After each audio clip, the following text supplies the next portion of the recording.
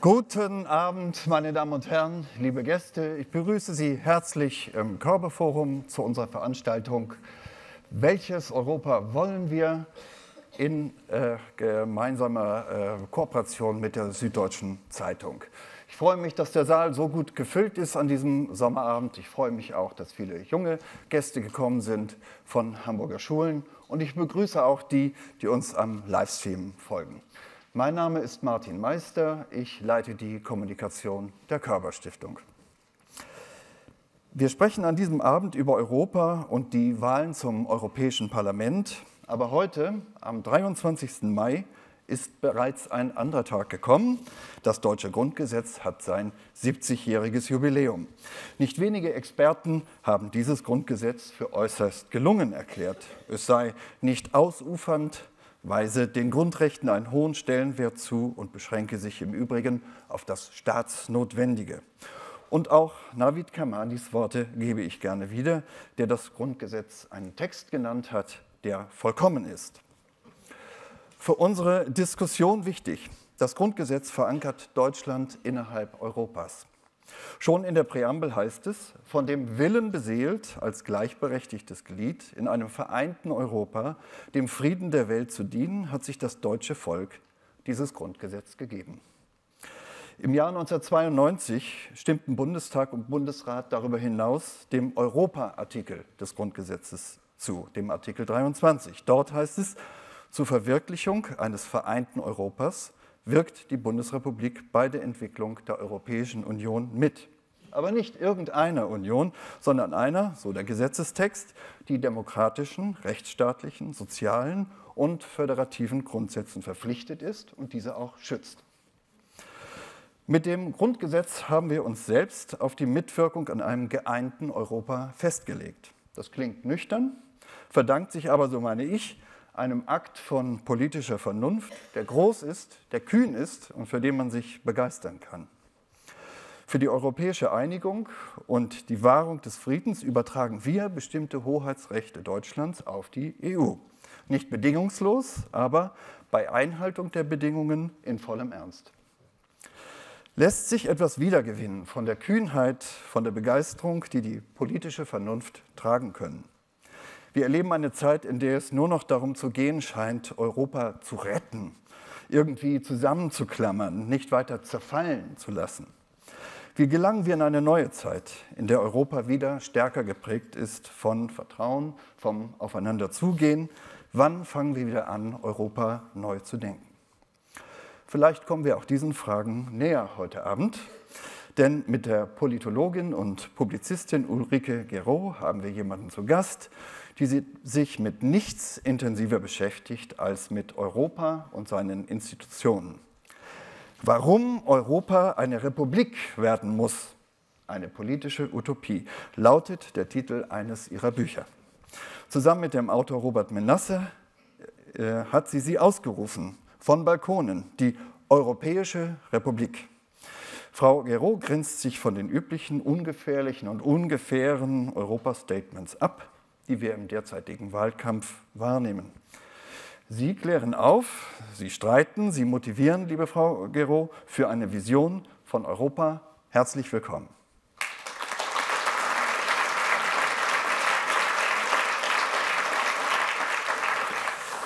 Visionen für Europa, sie hat auch unser Gast Navid Kamani entwickelt. Schon vor mehr als zehn Jahren in einem Zeitungsartikel. Da reist er in das Jahr 2032 zu einer EU, die Aufnahmeverhandlungen mit Maghreb-Staaten führt und von einer schwarzen Außenministerin vertreten wird.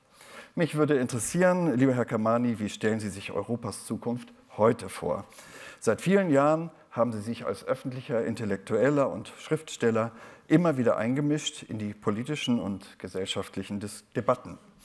Anfang 2018 erschien Ihr Reisetagebuch Entlang den Gräben, das man auch als Plädoyer für Europa lesen kann. Im gleichen Jahr haben Sie die Europapolitik der Bundesregierung scharf kritisiert und gefordert, Europa müssen Flügel wachsen. Mutig und immer zu kritisch. Herzlich willkommen, Herr Kamani.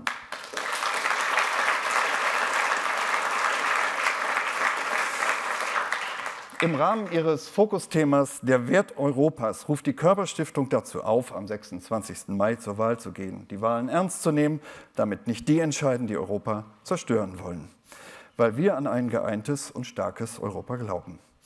In diesem Mai erleben die Europäer noch ein weiteres Jubiläum, den 15. Jahrestag der mittel- und osteuropäischen EU-Erweiterung. Aber gerade jetzt zeigen sich wachsende Entfremdung zwischen Ost und West, unser Fokusthema erinnert daran, wir wollten aufeinander zugehen, gemeinsam Europa entwickeln. Doch nun scheint es, dass die Trennungslinien zwischen den alten und den neuen EU-Mitgliedstaaten größer werden, jedenfalls zwischen ihren Regierungen. Wir sind froh, dass wir mit dem ehemaligen polnischen Botschafter in Deutschland und in den USA, Janusz Reiter, jemanden auf dem Podium begrüßen dürfen, der in Ost und West vermittelt, ohne sich vereinnahmen zu lassen. In seinen Plädoyers für Europa klärt der Publizist und Germanist auf über die Erinnerungskulturen und über die Gegenwart, über das Versprechen Europas und seine Realität. In Ost und West spricht er über die erkennbare Entfremdung Polens von der EU, aber auch vom deutsch-polnischen Verhältnis, das, jedenfalls bis vor kurzem, alle guten Erwartungen übertraf. Herzlich willkommen, lieber Herr Reiter.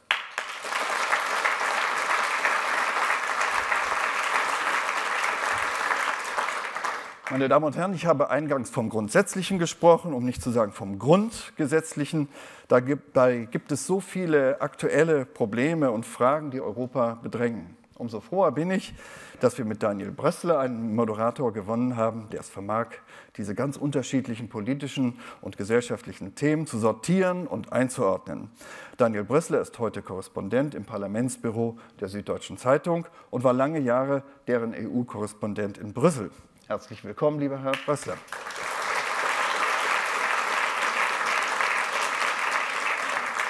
Zum Schluss meiner Worte darf ich Sie, liebe Gäste, auch die Jüngeren, noch herzlich einladen, die Bühnendiskussion zum gegebenen Zeitpunkt mit Ihren Fragen zu bereichern.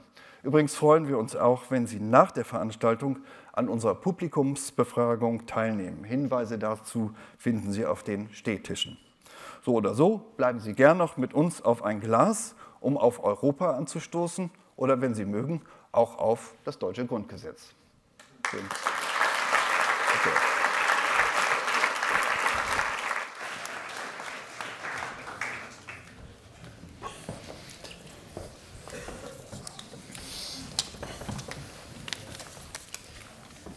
Ja, herzlichen Dank äh, für diese Einführung. Schönen guten Abend. Was soll ich sagen? In 73 Stunden ist das Schicksal Europas besiegelt. Jedenfalls für den Fall, das stimmt, äh, was wir in den vergangenen Wochen so oft gehört und gelesen haben, vielleicht auch in meiner Zeitung. Äh, muss allerdings sagen, dass obwohl ich beruflich äh, mit der Europawahl zu tun habe und auch aufgrund meiner Zeit als Brüssel-Korrespondent ähm, schon sensibilisiert bin, sich mir persönlich das Schicksalhafte dieser Wahl nicht wirklich vermittelt hat. Ich weiß nicht, wie es Ihnen geht. Wir werden hören, äh, wie es äh, den Diskutanten hier auf dem Podium geht. Vielleicht liegt es auch an den Parteien, vielleicht an der Art, wie Wahlkampf gemacht wurde.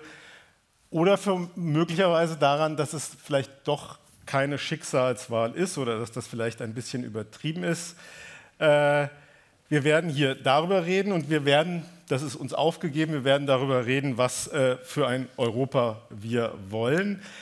Ich habe die Vermutung, dass wir nicht alle genau dasselbe Europa wollen. Ähm, das könnte jedenfalls sein. Darüber werden wir diskutieren.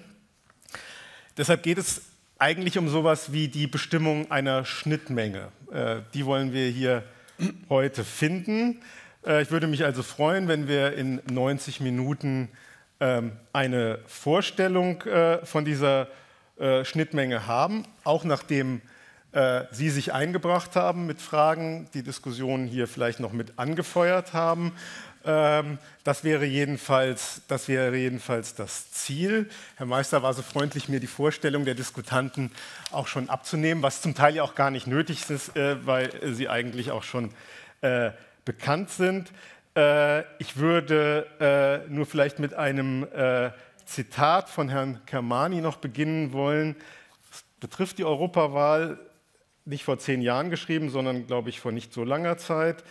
da sagten Sie, haben Sie die Frage aufgeworfen, bei welcher Wahl sich rechte und linke Populisten zusammenschließen, um Europa zu besiegen, spätestens in Frankreich, aber vermutlich bereits bei der Europawahl im nächsten Jahr, vergangenes Jahr war das. Äh, die Europawahl ist jetzt äh, in wenigen Stunden. Darüber werden wir auch reden, was von den Populisten äh, zu erwarten ist bei dieser Wahl. Ich würde die drei, die hier sitzen, zunächst einmal bitten, diese Frage zu versuchen, eingangs zu beantworten. Also wenn man so will, welche Vision äh, sie für Europa haben, wo Europa hin soll, aber vielleicht auch hin soll, aber vielleicht auch die Frage gleich mit aufzunehmen, äh, was passiert, wenn es schief läuft? Also was das Europa wäre, ähm, das, ähm, das, wir, das wir fürchten müssen. Ähm, Herr Kamani, wollen Sie vielleicht anfangen? Ja, guten Abend, gerne. Ähm, ich würde aber lieber noch beginnen mit dem Grund für Europa, denn der führt ja in die Vergangenheit, führt ja in die Zukunft. Also weshalb es eigentlich das europäische Projekt gibt. Und das ist etwas, was, glaube ich, in den letzten Wochen auch in diesem Wahlkampf eigentlich gar nicht richtig äh, zur Sprache gekommen ist. Also weshalb eigentlich Europa? Das wurden dann eine Reihe von pragmatischen Gründen genannt. Also Europa kann bestimmte Lösungen nur gemeinschaftlich anbieten, äh, äh, kann sich nur gegen die Internetkonzerne durchsetzen und so weiter und so fort. Die, die ganzen äh, Fälle kennen Sie, wo es, äh, wofür es Europa braucht. Aber das sind ja alles pragmatische äh, Dinge. Man könnte sich ja vorstellen, dass es dafür gar nicht könnte, könnte andere Organisationsformen geben. Und etwas, und ich glaube, das ist eigentlich auch der Kern der Krise Europas, ist etwas abhanden gekommen, warum es eigentlich Europa gibt. Wir sind ja gewohnt, äh, damit sind wir groß geworden. Europa ist das Friedensprojekt. Europa hat die Menschen befriedet, die, die Völker befriedet.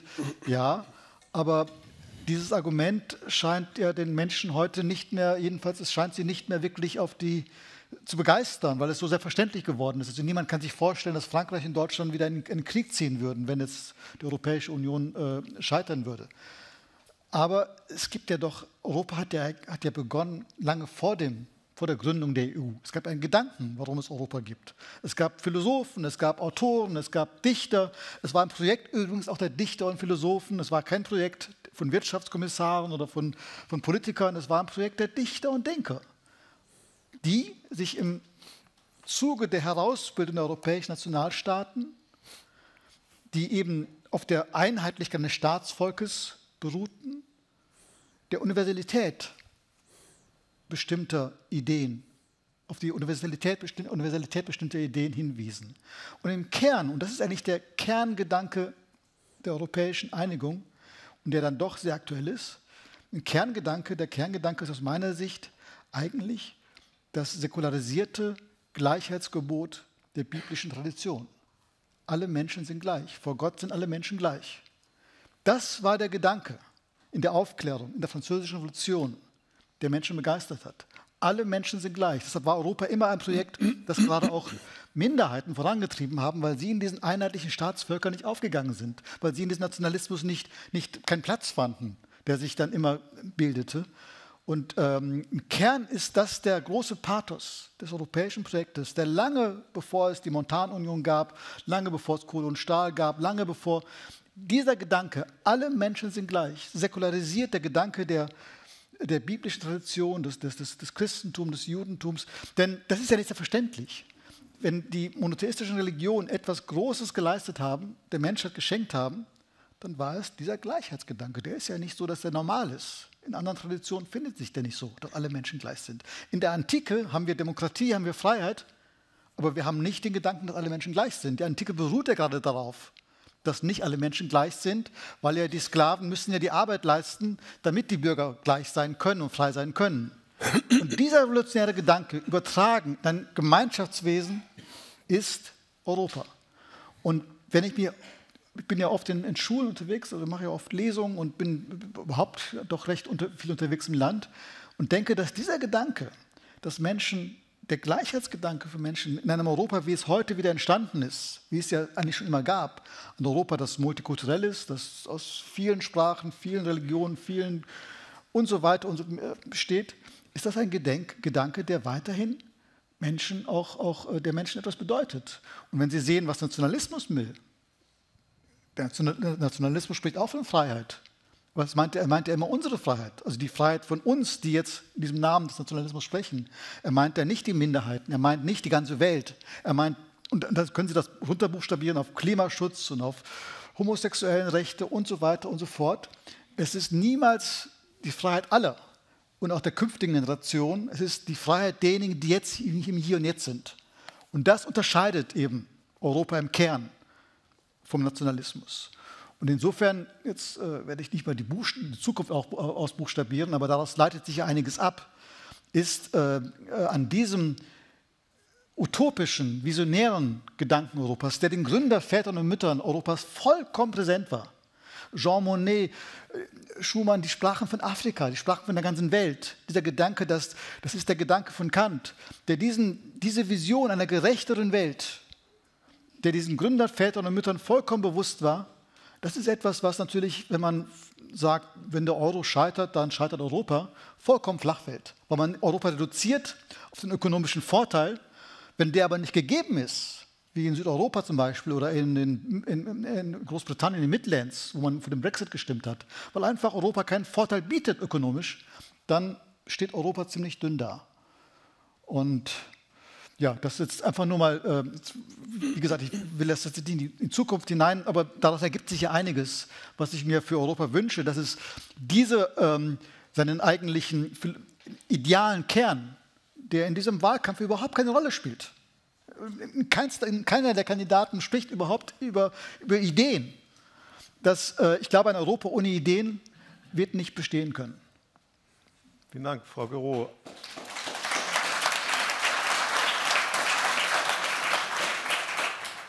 Ein Europa der Gleichheit, ist das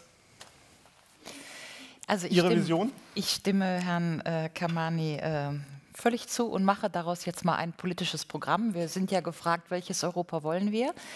Ähm, und Sie haben uns anmoderiert, dass wir wahrscheinlich nicht das gleiche Europa wollen. Dem würde ich zustimmen. Wir haben aber auch, wir wollen nicht alle die gleiche Bundesrepublik und haben trotzdem ein Grundgesetz, was ja hier anmoderiert wurde.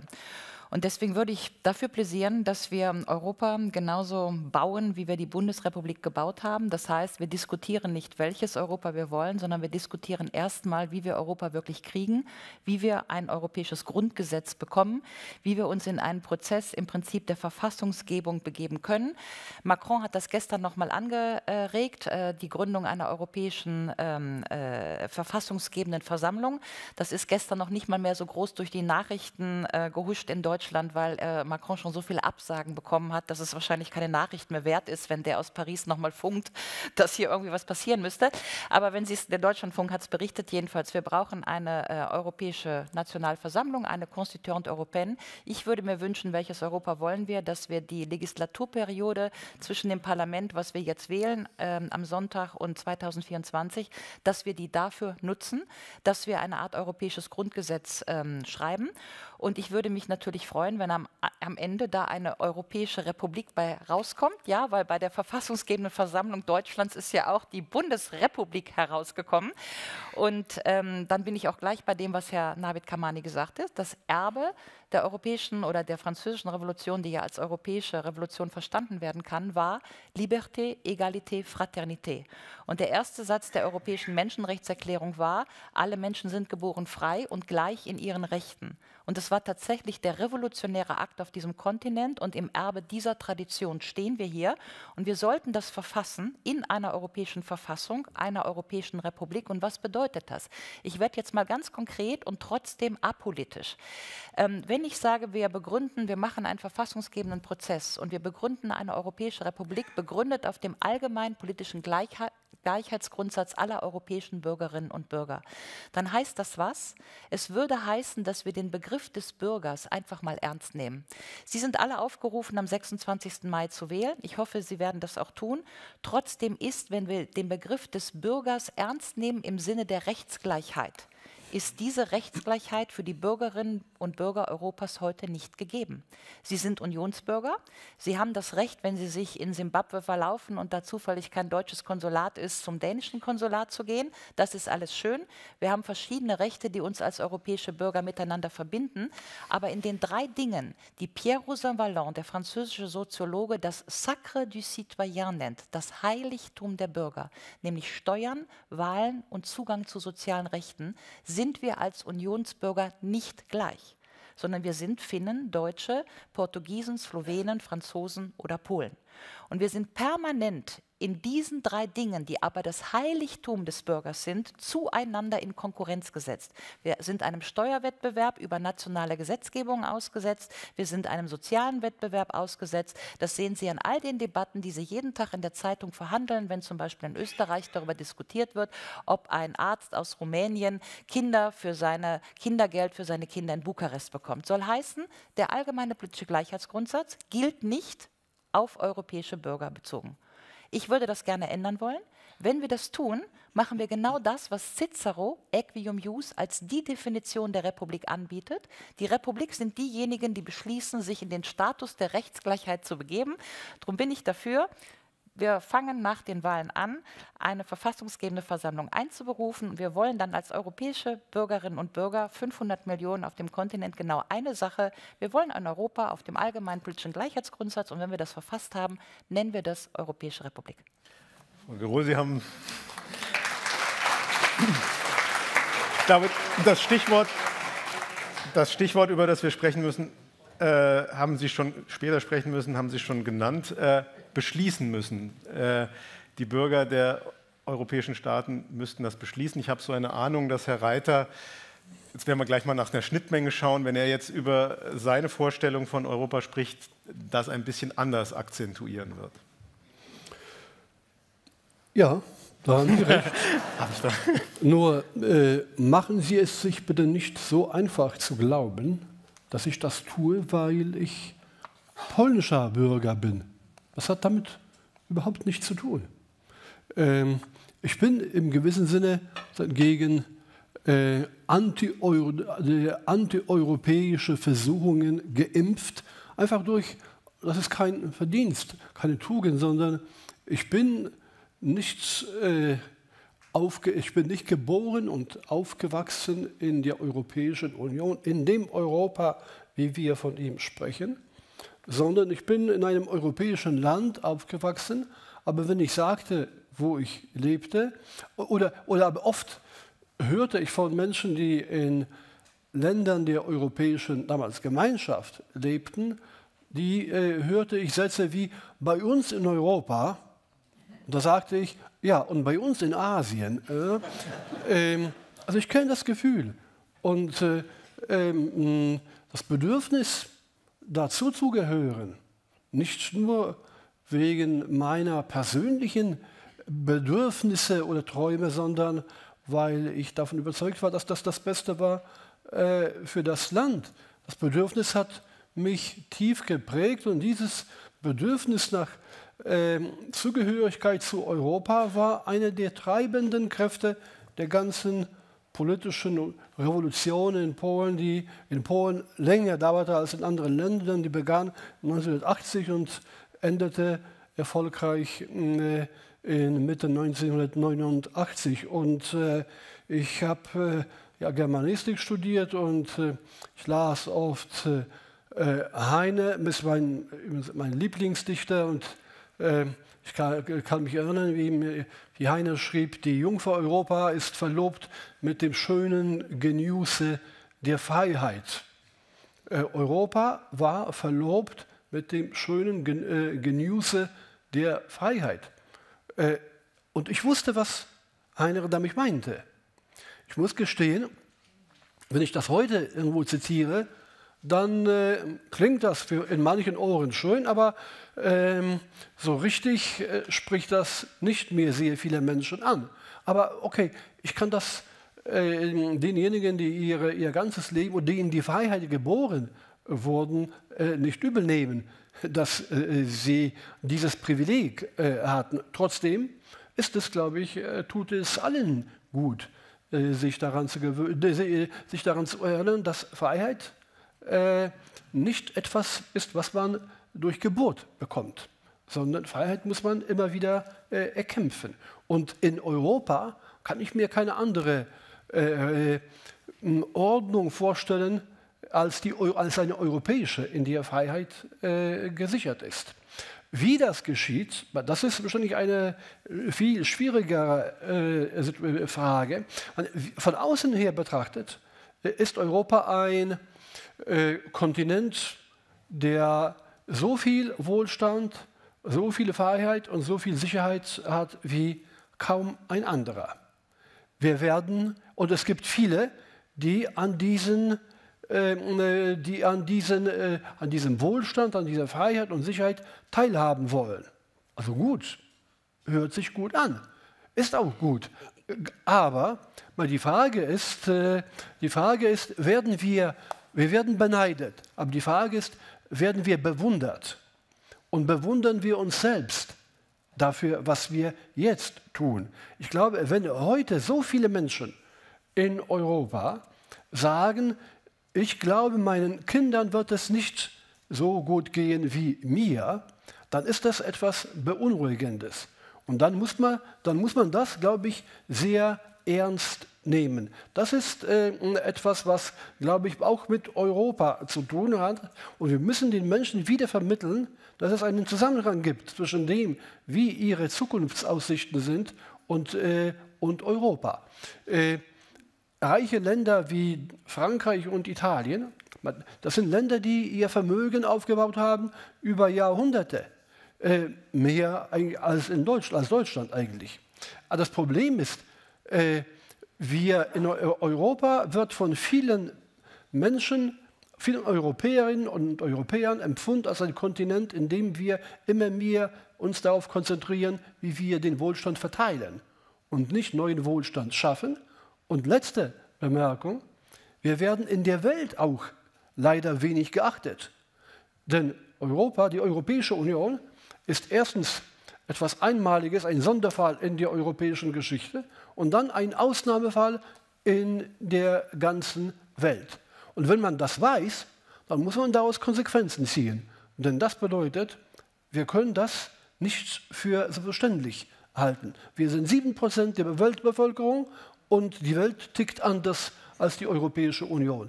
Die Europäische Union muss auch dafür sorgen, dass sie Respekt bekommt. In Europa selbst, aber auch auf der Welt. Ich hoffe sehr darauf und glaube, dass das möglich ist. Vielen Dank. Ähm In meiner Vermutung fühle ich mich ein bisschen bestätigt, dass die Schnittmenge jetzt noch nicht riesig groß ist, aber einiges haben wir drin in der Schnittmenge, auf jeden Fall die Freiheit. Ich würde eigentlich da anknüpfend, ähm, äh, wo Herr Reiter aufgehört hat, mal die Frage stellen wollen, vielleicht ein bisschen ketzerisch, ob die Lage eigentlich wirklich so schlecht ist. Ich habe die vergangenen Jahre größtenteils in Brüssel verbracht. Ich habe die ganzen Krisengipfel erlebt. Äh, äh, Eurokrise, Griechenland, Flüchtlingskrise, Brexit. Äh, da ist schon eine Menge zusammengekommen. Und da war auch immer wieder viel ähm, Verzweiflung, dass, äh, es nicht, äh, dass es nicht schneller geht, dass es nicht weitergeht, dass man zu keinen Lösungen kommt. Aber andererseits, wenn ich jetzt gucke, wo stehen wir? ist es so schlecht. Es ist in den vergangenen Jahren ein Gewurschtel gewesen, es sind Kompromisse gewesen, zum Teil faule Kompromisse. Aber da scheint es doch etwas zu geben, was funktioniert. Äh, nach dem Brexit, ich habe das selber erlebt, gab es eine Stimmung in Brüssel zunächst, wer ist der Nächste, äh, wie ansteckend ist das? So ist es nicht gekommen. Deshalb mal die Frage, Frau Gero, ist es eigentlich die vergangenen Jahre so schlecht gelaufen oder ist es eigentlich ganz gut gelaufen? Und gibt es da irgendein Modell EU? Sie wollen es anders haben, Sie wollen die Republik, ich weiß. Aber gibt es nicht ein Modell EU, das zumindest funktioniert und das Sie tauschen wollen gegen etwas, von dem wir noch nicht wissen, ob es funktioniert? Ich würde gerne erstmal das Spielfeld vermessen. Ja? Also äh, Navid Kamani hat angefangen mit Liberté, Egalité, Fraternité und dem Erbe der Revolution. Da bin ich eingestiegen habe gesagt, ja, und das können wir jetzt machen, indem wir Europa verfassen über den allgemeinen politischen Gleichheitsgrundsatz. Und dann sind wir gewandert zu Freiheit, Wohlstand, Sicherheit. Und da sage ich nur, dass Wohlstand und Sicherheit zwar nice to have ist, aber es sind keine Werte. Das möchte ich nur einfach mal klarstellen. Man kann auch im Gefängnis sehr sicher sein, man ist nur leider nicht frei. Deswegen lege ich immer großen Wert darauf, dass wir wissen, was wir verhandeln, wenn wir von Werten sprechen. Wenn wir von Werten sprechen, reden wir von Liberté, Egalité, Fraternité und nicht von Wohlstand und Sicherheit, obwohl das nette Dinge sind.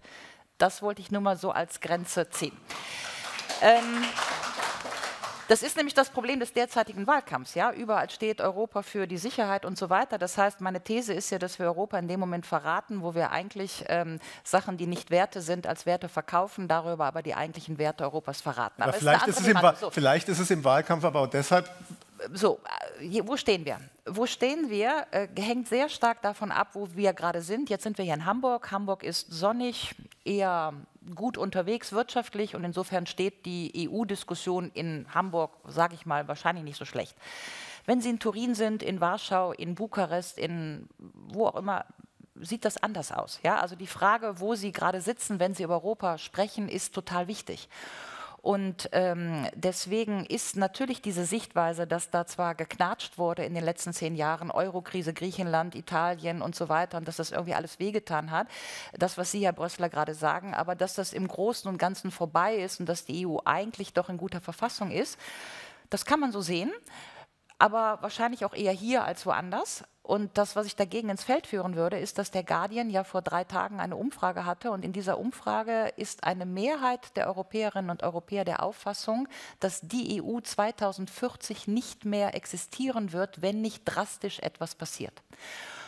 Ich glaube, dass ich diese Einschätzung teile ich teile diese Einschätzung, weil ich ähm, in ziemlich vielen Ländern unterwegs bin und weil ich mir ein Gebräu angucke, was sich an EU-Kritik in der Latenz aufbaut. Und das ist viel mehr als der Nationalismus und der Populismus oder die Identitären, die sich jetzt mit Salvini da verbünden und die, das hat der Guy Verhofstadt gestern in einem Interview gesagt, die Erosion des Europäischen Parlaments wird von innen kommen. Ja, also dass die so wie die AfD jetzt den Bundestag aushöhlt und so weiter, dass wenn die mit einem Drittel die Identitären im Europäischen Parlament sitzen, dass wir natürlich befürchten müssen, dass es eine institutionelle Aushöhlung von innen geben wird. Wir müssen den sogenannten Populisten wahrscheinlich neidlos konzidieren, dass sie im Moment relativ gut unterwegs sind, sich zu bündeln, was ja die liberale Mitte nicht schafft. Ähm, die Salvini-Pressekonferenz ja, wahre Finnen, Rassemblement äh, Français und so weiter, die sitzen da halt alle. Das, was sozusagen, wenn Sie mich fragen, wie schlecht ist es bestellt oder wie, was kann passieren in den nächsten vier Jahren, würde ich einfach gerne damit antworten, dass im Kräfteverhältnis diejenigen, die etwas wollen, immer gegenüber denen gewinnen, die nur verteidigen. Und solange wir keinen, und deswegen sitzen wir ja hier, ja, welches Europa wollen wir? Solange uns nichts anderes einfällt, als immer gebetsmühlelartig zu sagen, wir müssen die EU verteidigen und retten und so weiter und so fort, gegenüber denen, die ein klares Ziel haben, so blöd das auch sein mag, das Ziel, ja, aber immerhin ein klares Ziel, antworte ich mit Heinrich Poppitz, Theorien der Macht 1972, wer ein Ziel hat, gewinnt immer gegenüber denen, die was verteidigen. Und zwar ganz egal, was das Ziel ist und was sie verteidigen, das ist nur ein Energiefeld. Und in dem Moment sitze ich tatsächlich hier mit meiner kleinen Postkarte. Ich bin übrigens auch längst nicht mehr alleine. Aber deswegen sage ich, the European Republic is under construction. Was wir als liberale Mitte, wenn wir wirklich Europa wollen, und zwar ziemlich egal, ob Sie ein progressives, ein liberales, ein konservatives oder ein grünes Europa wollen, was wir vor allen Dingen erstmal brauchen, ist einfach eine Verfassung, weil ohne Verfassung ist alles nichts. Und solange wir die Frage nicht klären, wer in der EU entscheidet, Herr Tusk oder Herr Juncker, vielleicht doch Frau Merkel im Hinterzimmer oder vielleicht am Ende mal die europäischen Bürgerinnen und Bürger, weil wir der Souverän sind und wir in einer europäischen Nationalversammlung einfach mal entscheiden sollten, solange wird diese EU wahrscheinlich in meiner Einschätzung zumindest keine dauerhafte Perspektive mehr haben.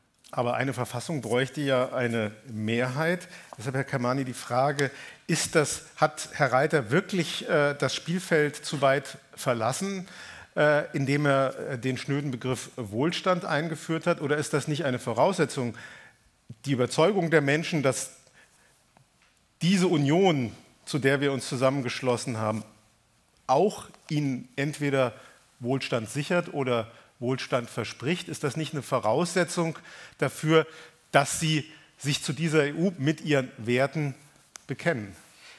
Ich glaube, dass, äh, das darf man nicht voneinander trennen. Äh, also dass niemand äh, würde ja sagen, wir wollen, Menschen wollen keinen Wohlstand oder sie wollen nicht, dass die Dinge gelöst werden und dass die Dinge geregelt werden. Und man sollte auch argumentieren, dass eine Europäische Union diese Dinge löst, die hier anstehen, also ob es ein Umweltschutz oder ökonomische, ökonomisches Ungleichgewicht. Ähm, und das, äh, das, das, das Geniale an der Gründung ähm, des heutigen Europas war ja, dass man wirkliche große Visionen hatte und sie ganz konkret mit Kohle und Stahl umgesetzt hat, dass man nur beides hatte. Und äh, das, wogegen ich argumentiere, ist, dass man die Vision einfach weglassen kann und glaubt, man könne jetzt nur mit kleinen pragmatischen Lösungen vorankommen. Umgekehrt, wenn sie nur Dichter und Denker hätten, dann wäre wahrscheinlich Europa auch nicht gegründet worden, ehrlich gesagt. Also es gehört schon beides dazu.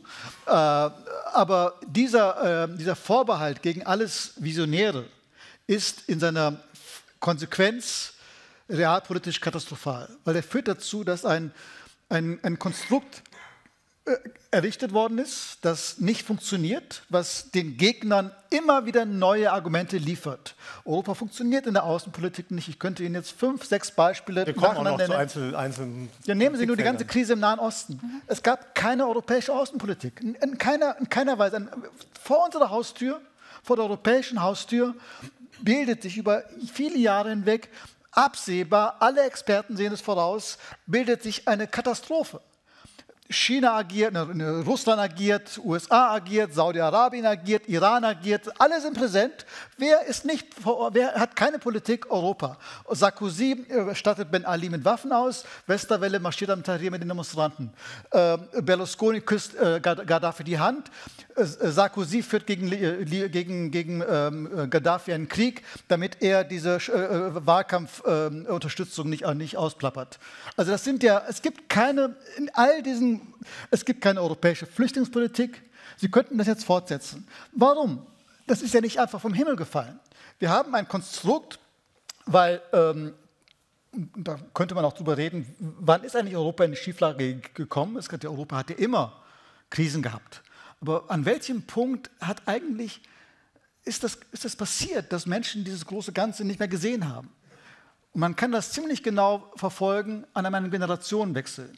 Die Generation, die noch den Krieg, die quasi diese Friedens, dieses, dieses Friedensprojekt vor Augen hatte, weil sie mit dem Krieg aufgewachsen sind, hatten den Grund Europas biografische Erfahrung. Sie wussten, da ist etwas, was über uns hinausgeht, was wir den Kindern mitgeben müssen, weil wir es von den Vätern und Müttern ererbt haben. In dem Augenblick, wo dieser, dieser Krieg nicht mehr biografisch, eine biografische, eine biografische Erfahrung war, wurde Europa sozusagen pragmatisch gedealt, gemacht.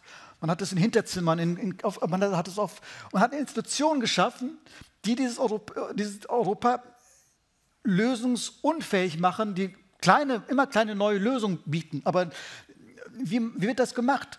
Diese, äh, man muss sich doch anschauen, was sind denn die Argumente derjenigen, die heute gegen die europäische, äh, gegen, gegen Brüssel argumentieren? Ist ja nicht alles falsch.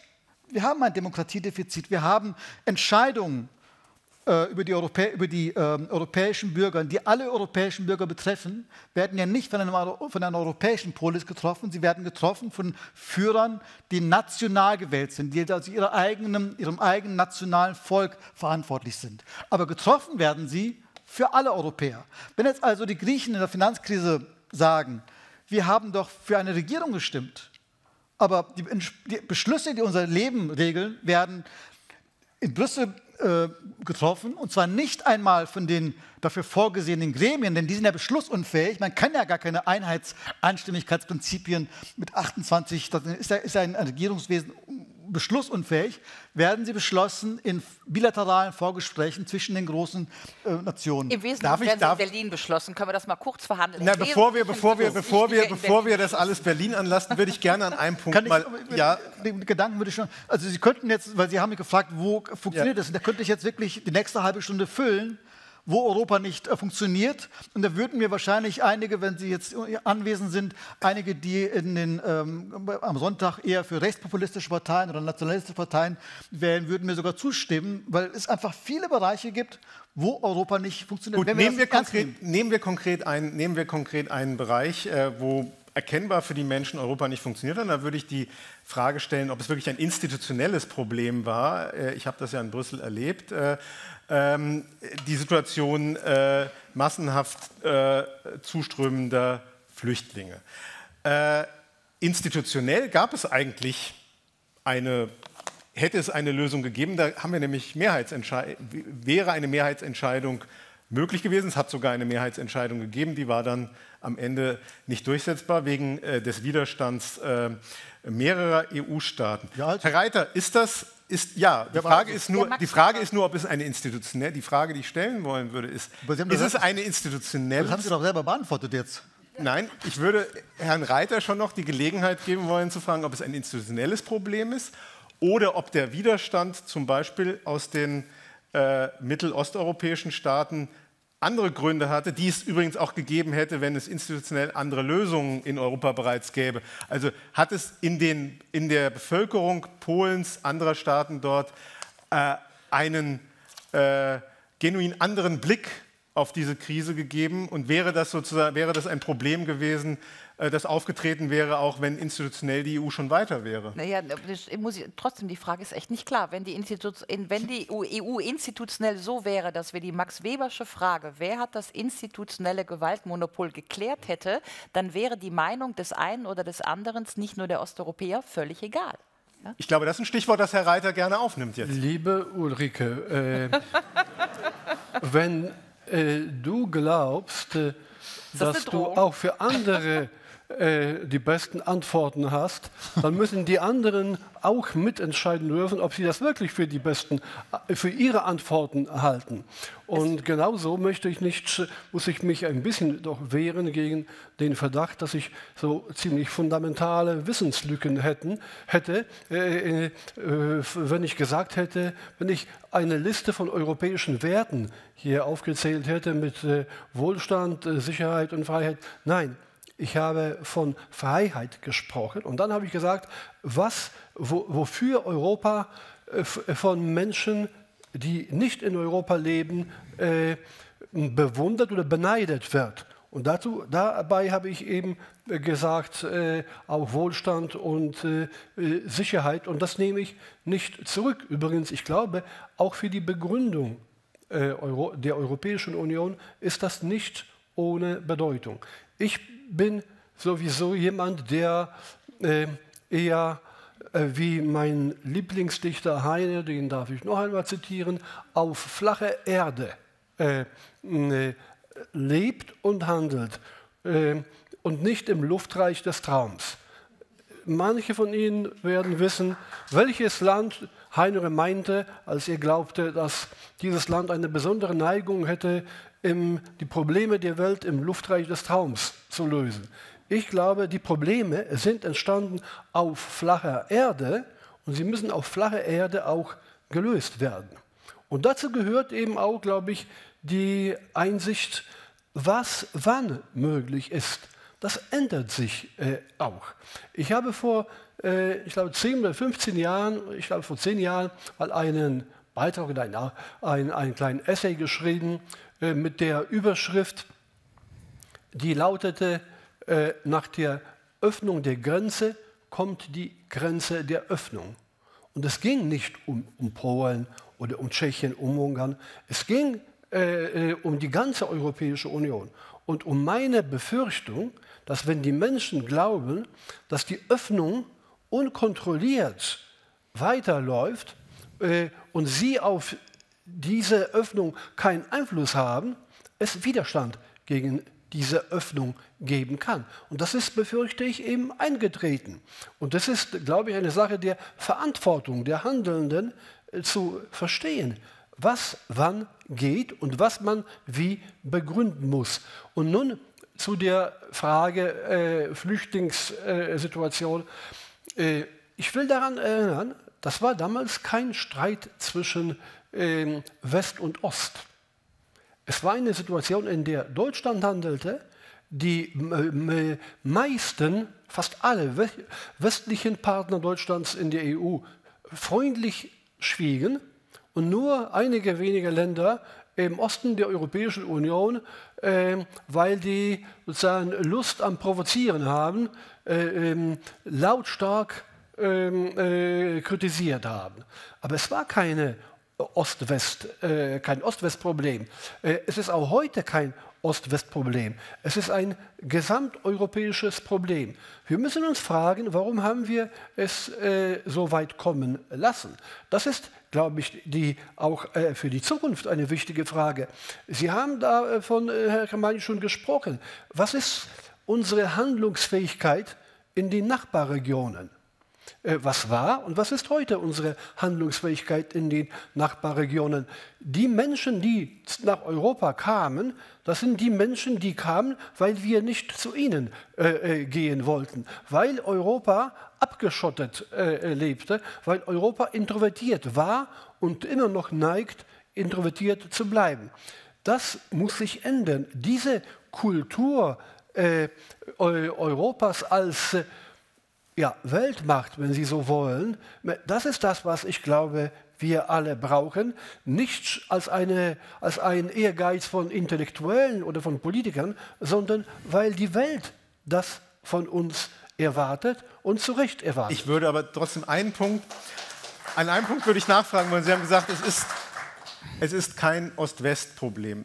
Ich erinnere mich an diese Tage in Brüssel und ich, es stimmt, Deutschland war zum Teil relativ allein. Es gab immer mehrere Staaten, die an der Seite Deutschlands standen. Aber ganz so war es nicht. Es, war, es gab nur eine kleine Gruppe von Staaten, und die kamen aus einer Region, die, ein, die etwas gesagt haben, was die anderen nicht gesagt haben, dass nämlich jedwede Aufnahme von Flüchtlingen, es war eine relativ radikale Position, dass jedwede Aufnahme von Flüchtlingen nie, aus grundsätzlichen Erwägungen nicht in Frage kommt. Ich erinnere mich an, einen, an eine Nacht, äh, in Brüssel äh, der, die Bundeskanzlerin in einer Pressekonferenz plötzlich sagte, äh, da ging es um diesen kleinen Verteilschlüssel, das ja. Waren, waren, ja kleine Zahlen.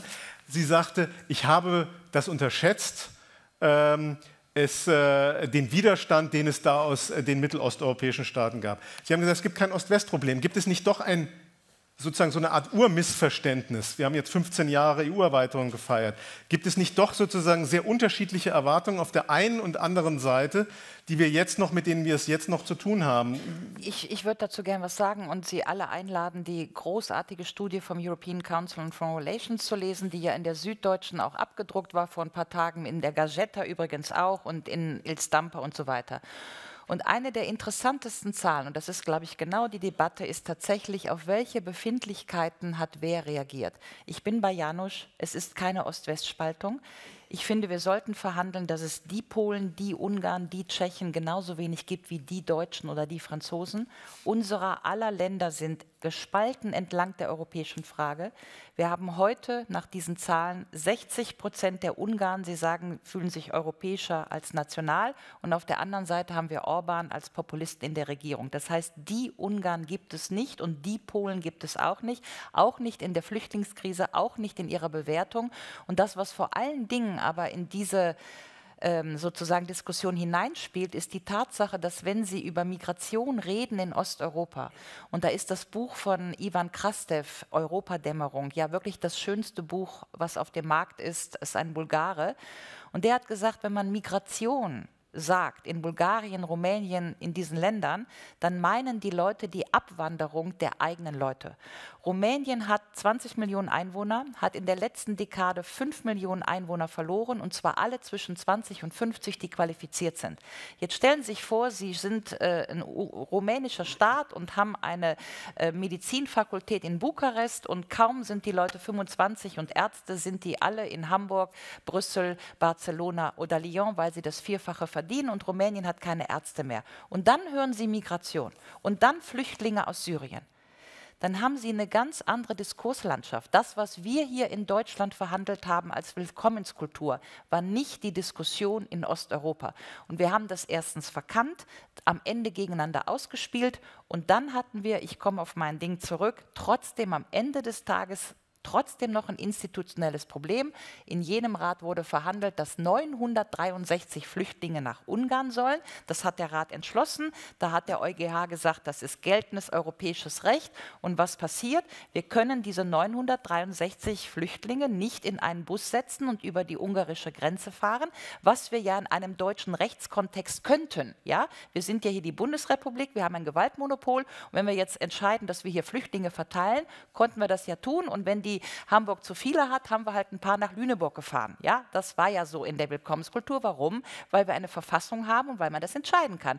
Und in der EU konnte man das nicht entscheiden. Orban hat gesagt, die 963 nehme ich nicht kein Sanktionsmonopol und Herr Kamani hat recht, die EU krankt auch und vor allem an ihrer Entscheidungsunfähigkeit, aber auch daran, dass wir, wenn wir gerade über Flüchtlinge und Öffnung und Schließung reden, über völlig unterschiedliche Dinge reden, wenn wir zwischen Ost- und Europa und Westeuropa darüber diskutieren. Herr Kamani. Darf ich da ja. anknüpfen an, die, an das Beispiel Rumänien, das was ja fortsetzbar wäre, in Litauen oder anderswo ist es ja Überall. die Situation genauso. Und wenn Sie dann auch noch äh, Länder wie Kosovo oder Albanien oder die Balkanstaaten nehmen, ich würde an diesem konkreten Beispiel mal äh, zeigen, ähm, warum ähm, warum dieser Gedanke eines, eines wirklich vereinten Europas auch praktisch wichtig ist. Wenn Sie meinen, dass die südeuropäischen Jugendlichen in Italien, teilweise 50 Prozent Jugendarbeitslosigkeit, nicht unsere, Jugend, unsere Jugendlichen sind, das sind Ausländer sozusagen, das ist nicht unser Problem, aber zugleich offene Grenzen haben innerhalb Europas, aber derartige gewaltige Einkommensunterschiede, dass ein Arzt in Rumänien ein Fünftel, ein Sechstel verdient und nichts dafür tun, dass sich die Lebensverhältnisse angleichen, dann haben sie das, wird das ständig ins Rollen geraten, weil natürlich der Arzt aus Bukarest oder der Jugendliche in äh, Sizilien oder äh, der, der Arbeitslose in den Midlands in, versucht natürlich wegzukommen.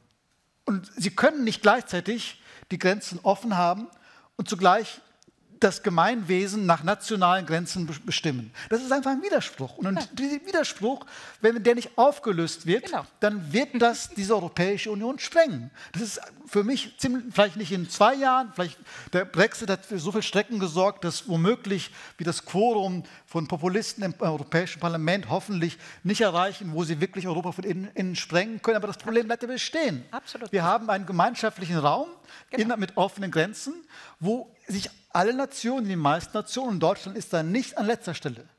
Beispiel Flüchtlingspolitik. Deutschland hat ja auch diesen Unmut erzeugt, weil Deutschland sich in den Jahren davor maximal unsolidarisch verhalten hat. Absolut. Diese Kehrtwende kam ja aus dem Nichts. Mhm. Europa, Deutschland war das Land, das gemeinsame europäische Lösungen zuvor blockiert hatte. Mhm. Natürlich sagen dann viele andere europäische Staaten, wupp, Eben wollten wir doch noch, auch noch äh, eine europäische Flüchtlingspolitik. Wer hat blockiert? Das war Deutschland. Jetzt plötzlich ruft Deutschland nach einer gemeinsamen, äh, nach, einem, nach einem gemeinsamen Vorher hatten wir uns hier äh, es uns bequem gemacht mit der Drittstaatregelung. Das heißt, wir hätten gar keine Flüchtlinge aufnehmen müssen. Ich, ich, komme immer wieder, weil es so viele Beispiele sind. Ich bleibe bei dem Beispiel des, des rumänischen Arztes.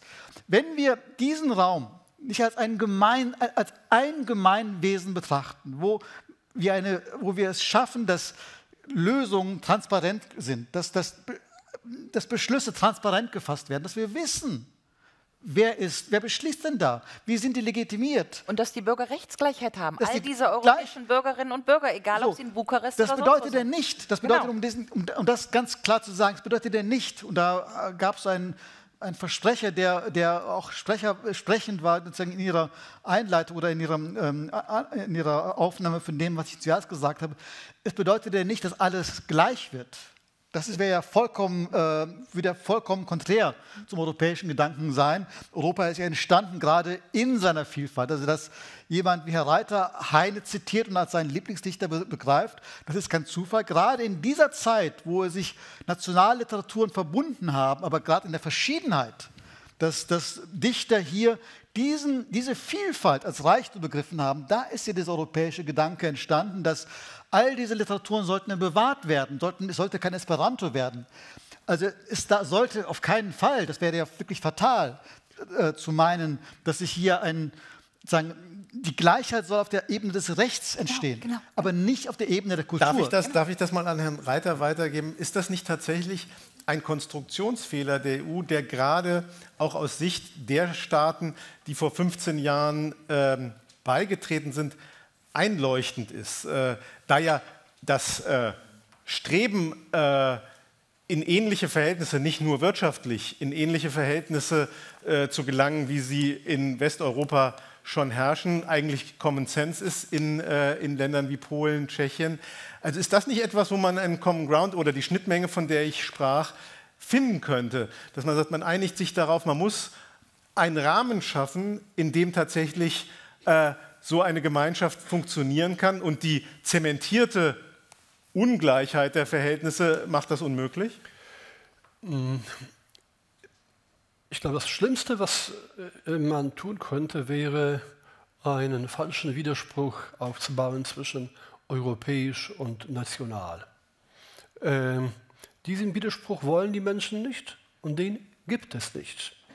Äh, man muss stattdessen, glaube ich, eben auch die nationale oder nationalstaatliche Verantwortung akzeptieren für viele Dinge, die man im eigenen Land macht und nicht die Europäische Union dafür verantwortlich machen. Mir gefällt die Art und Weise von, von Macron, der äh, ganz offen sagt, ich kenne die Probleme meines Landes, äh, ich weiß, ich muss die äh, anpacken und ich weiß, ich, ich schaffe das nicht ohne die Europäische Union.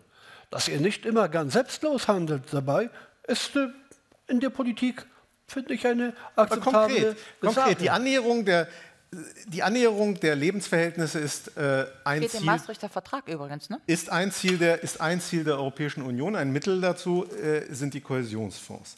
Das machen wir jetzt seit vielen Jahren. Es zeigt sich, dass die abgehängten Regionen, überhaupt nicht nur im Osten, dass die abgehängten Regionen nicht aufholen. Also der reine Transfer, der reine Transfer von, von Mitteln scheint ja an diesem Problem nichts zu ändern. Deshalb die Frage, ob da was dran sein könnte, dass man was am Rahmen ändern muss, da der Transfer von Mitteln innerhalb des bestehenden Systems Aber offenbar nichts ändert an dieser. Äh, an äh, ich hoffe, es wird äh, es, diese, die, die, der Stellenwert der Transferleistungen wird nicht verringert. Äh, in der Darüber wird jetzt Finanzperspektive bei aller Bedeutung der anderen äh, äh wichtigen Ziele. Äh, aber äh, Sie können das Problem, das Phänomen, sagen wir so, Ungarn oder auch Polen nicht alleine äh, wirtschaftlich erklären oder nicht alleine sozial erklären. Äh, das ist die, in, in, Polen geht es nicht so sehr um das Wirtschaftliche. Es geht um das Emotionale. Es geht um, die, äh, es geht um solche Sachen, die Menschen in den größten und reichsten Ländern nicht verstehen, weil sie sie irgendwie bekommen. Das ist Anerkennung das ist das Gefühl äh, von, was man auf Englisch Sense of Ownership nennt. Ähm, das ist etwas, was wir in Europa auch sehr ernst nehmen müssen. Nee, es gibt keinen einfachen Zusammenhang zwischen dem Wohlstandsniveau und der Zufriedenheit mit der eigenen Lage. Die äh, das, der Wohlstand ist wahrscheinlich nicht ohne Bedeutung. Aber in Europa äh, gibt es in vielen Ländern auch eben ein starkes Bedürfnis nach Anerkennung und nach dem Sense of Ownership. Und das ist, glaube ich, ein Bedürfnis, das man besonders in, in Deutschland verstehen müsste. Denn wenn die Europäer frustriert sind unzufrieden sind, weil sie glauben, dass sie nicht alle fair behandelt werden, wird sich das in erster Linie, so ungerecht das sein mag, gegen Deutschland richten. Es ist interessant, dass Sie das sagen, weil ich würde, bevor wir auch langsam ins Publikum gehen, äh, wir wollen Bürgerbeteiligung ja ernst nehmen, würde ich genau das Stichwort, das hatte ich nämlich auch vor, jetzt über Deutschland zu sprechen, aufnehmen wollen. Und Frau Groh, Sie haben es ja auch schon, Sie haben es ja auch schon, Sie haben ja über Berlin gesprochen. Äh, gibt es gibt es sozusagen in der EU, Deutschland ist die mit Abstand größte Volkswirtschaft, es ist das bevölkerungsreichste Land, es ist ein Land, in dem wir glauben, besonders proeuropäisch zu sein und zu handeln. Gibt es ein Deutschlandproblem in der EU? Ja, ja, natürlich. Also das ist, äh, das, deswegen habe ich dieses Buch geschrieben. Ja, wie hältst du es mit Europa? So ein bisschen nach Goethes Faust, Gretchen, ja. Äh, äh, wie hältst du es mit der Religion? Mir scheint, du hältst nicht viel davon. Ja, also das ist einfach mal, das ist einfach wie die deutsche Europapolitik in den letzten Jahren, in der letzten Dekade mindestens. Aber in meinem Buch mache ich das über die letzten 30 Jahre, was Herr Kamani gesagt hat. Ja, wir haben jede Ambition auf das politische Projekt Europa verloren. Dafür gibt es viele Gründe. Das eine sind die biografischen Daten, Kriegsgeneration und so weiter. Aber sprechen wir es doch mal aus. Wir haben Europa verloren 2012 inmitten der Banken- und Eurokrise, als vor allen Dingen dieses Land alles vom Tisch gewischt erwischt hat, was Europa vernünftig institutionalisiert hätte. Ja, wir haben die Debatten ja geführt. Die SPD hat gesagt, Eurobonds, europäische Arbeitslosenversicherung und so weiter. Also im Prinzip steht Deutschland auf diesem, äh, wie hältst du es mit der Religion? Ich glaube, ich halte nicht viel davon. Soll heißen, wenn es ernst wird und wenn bezahlt werden soll, Transferunion, Transferunion, das ist das Ticket der AfD, dann funktioniert in diesem Lande gar nichts mehr. Ja? Und, und das ist schon ein deutsches Problem oder ein europäisches Problem, weil ähm, nichts passiert in Deutschland gegen und schon gar nicht nicht ohne Deutschland. Und in dem Moment, wo wir gemauert haben, und wir haben gemauert, eine Dekade lang alternativlos und so weiter. Gucken Sie sich mal an, was in Brüssel alles passiert ist. Äh, kann man, äh, würde ich mal sagen, eine deutliche Wechselwirkung äh, zwischen einem deutschen Mauern und dem Scheitern des europäischen Projektes über die letzten zehn Jahre nachzeichnen. Und deswegen habe ich das Buch geschrieben, was mein persönliches Wutbuch ist. Ich habe genug persönliche Anekdoten da reingeschrieben, was ich alles in Brüssel erleben musste. Aber wenn die Bildzeitung sich wieder beschwert, dass wir ja nie die tollen Kommissare bekommen, Oettinger nur den Digitalkommissar und so, ja, dann ist in Brüsseler Zeitungen steht drin, äh, l'Europe allemande. Ja? Also die Diskrepanz zwischen der Selbstwahrnehmung und Fremdwahrnehmung zwischen Selbstwahrnehmung und Fremdwahrnehmung war in der letzten Dekade nicht mehr zu überbieten. Ich habe mich manchmal an einigen Tagen gefragt, wie in der FT, in Le Monde, in El País das stehen konnte und am gleichen Tag über das gleiche Ereignis in der deutschen Zeitung was völlig anderes. Ja? Jetzt, äh so, so, und da, dann können wir das so, und, und da ist ein wirkliches Aber Olivier, Problem. Nur äh, ein, ein Satz dazu. Nokia. Wenn das stimmt und ich stimme mit dir völlig überein, Danke. dann bedeutet das, Deutschland, da wollte muss, ich hinkommen. Deutschland, ja, muss, genau. Deutschland muss eine, immer eine Politik finden, die gut ist, nicht nur aus deutscher Sicht, sondern aus europäischer ja, Sicht. Aber das sage ich doch. Also Deswegen, also es muss nicht die ja, beste Politik sein, es kann die zweitbeste sein, uns, wenn sie von Europa akzeptiert wir wird. Wir kennen uns schon sehr lange und genau das. Aber deswegen mache ich doch das Denkangebot Europäische Republik. Warum? Ich habe die Rede von Radek Sigorski in Berlin ja gehört im November 2012. Ja? Mehr als vor einem Deutschland, das nicht äh, das führt, haben wir Angst vor einem Deutschland, das nicht führt. Das war die Rede des polnischen Außenministers im November 2012 in Berlin. Und die Rede hat so geschockt, weil von einem von Polen erwartet man nicht, dass er da steht und sagt, wir wollen ein Deutschland, das führt.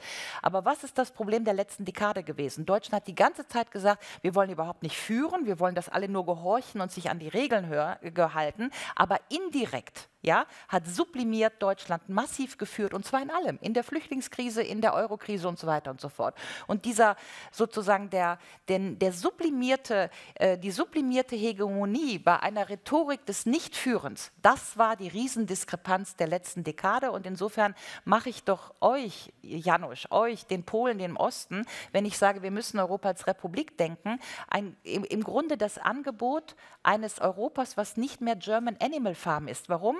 Weil, ja, weil ich vom Bürger aus argumentiere, das hatten wir jetzt schon, Herr Kamani und ich, allgemeiner politischer Gleichheitsgrundsatz. Übrigens, Rechtsgleichheit heißt kein Zentralismus. Wir haben in Deutschland Rechtsgleichheit von Hamburg bis zum Bodensee und deswegen teilen Sie nicht die Kultur von unten da, die, die da in Franken oder am Bodensee sitzen. Ja?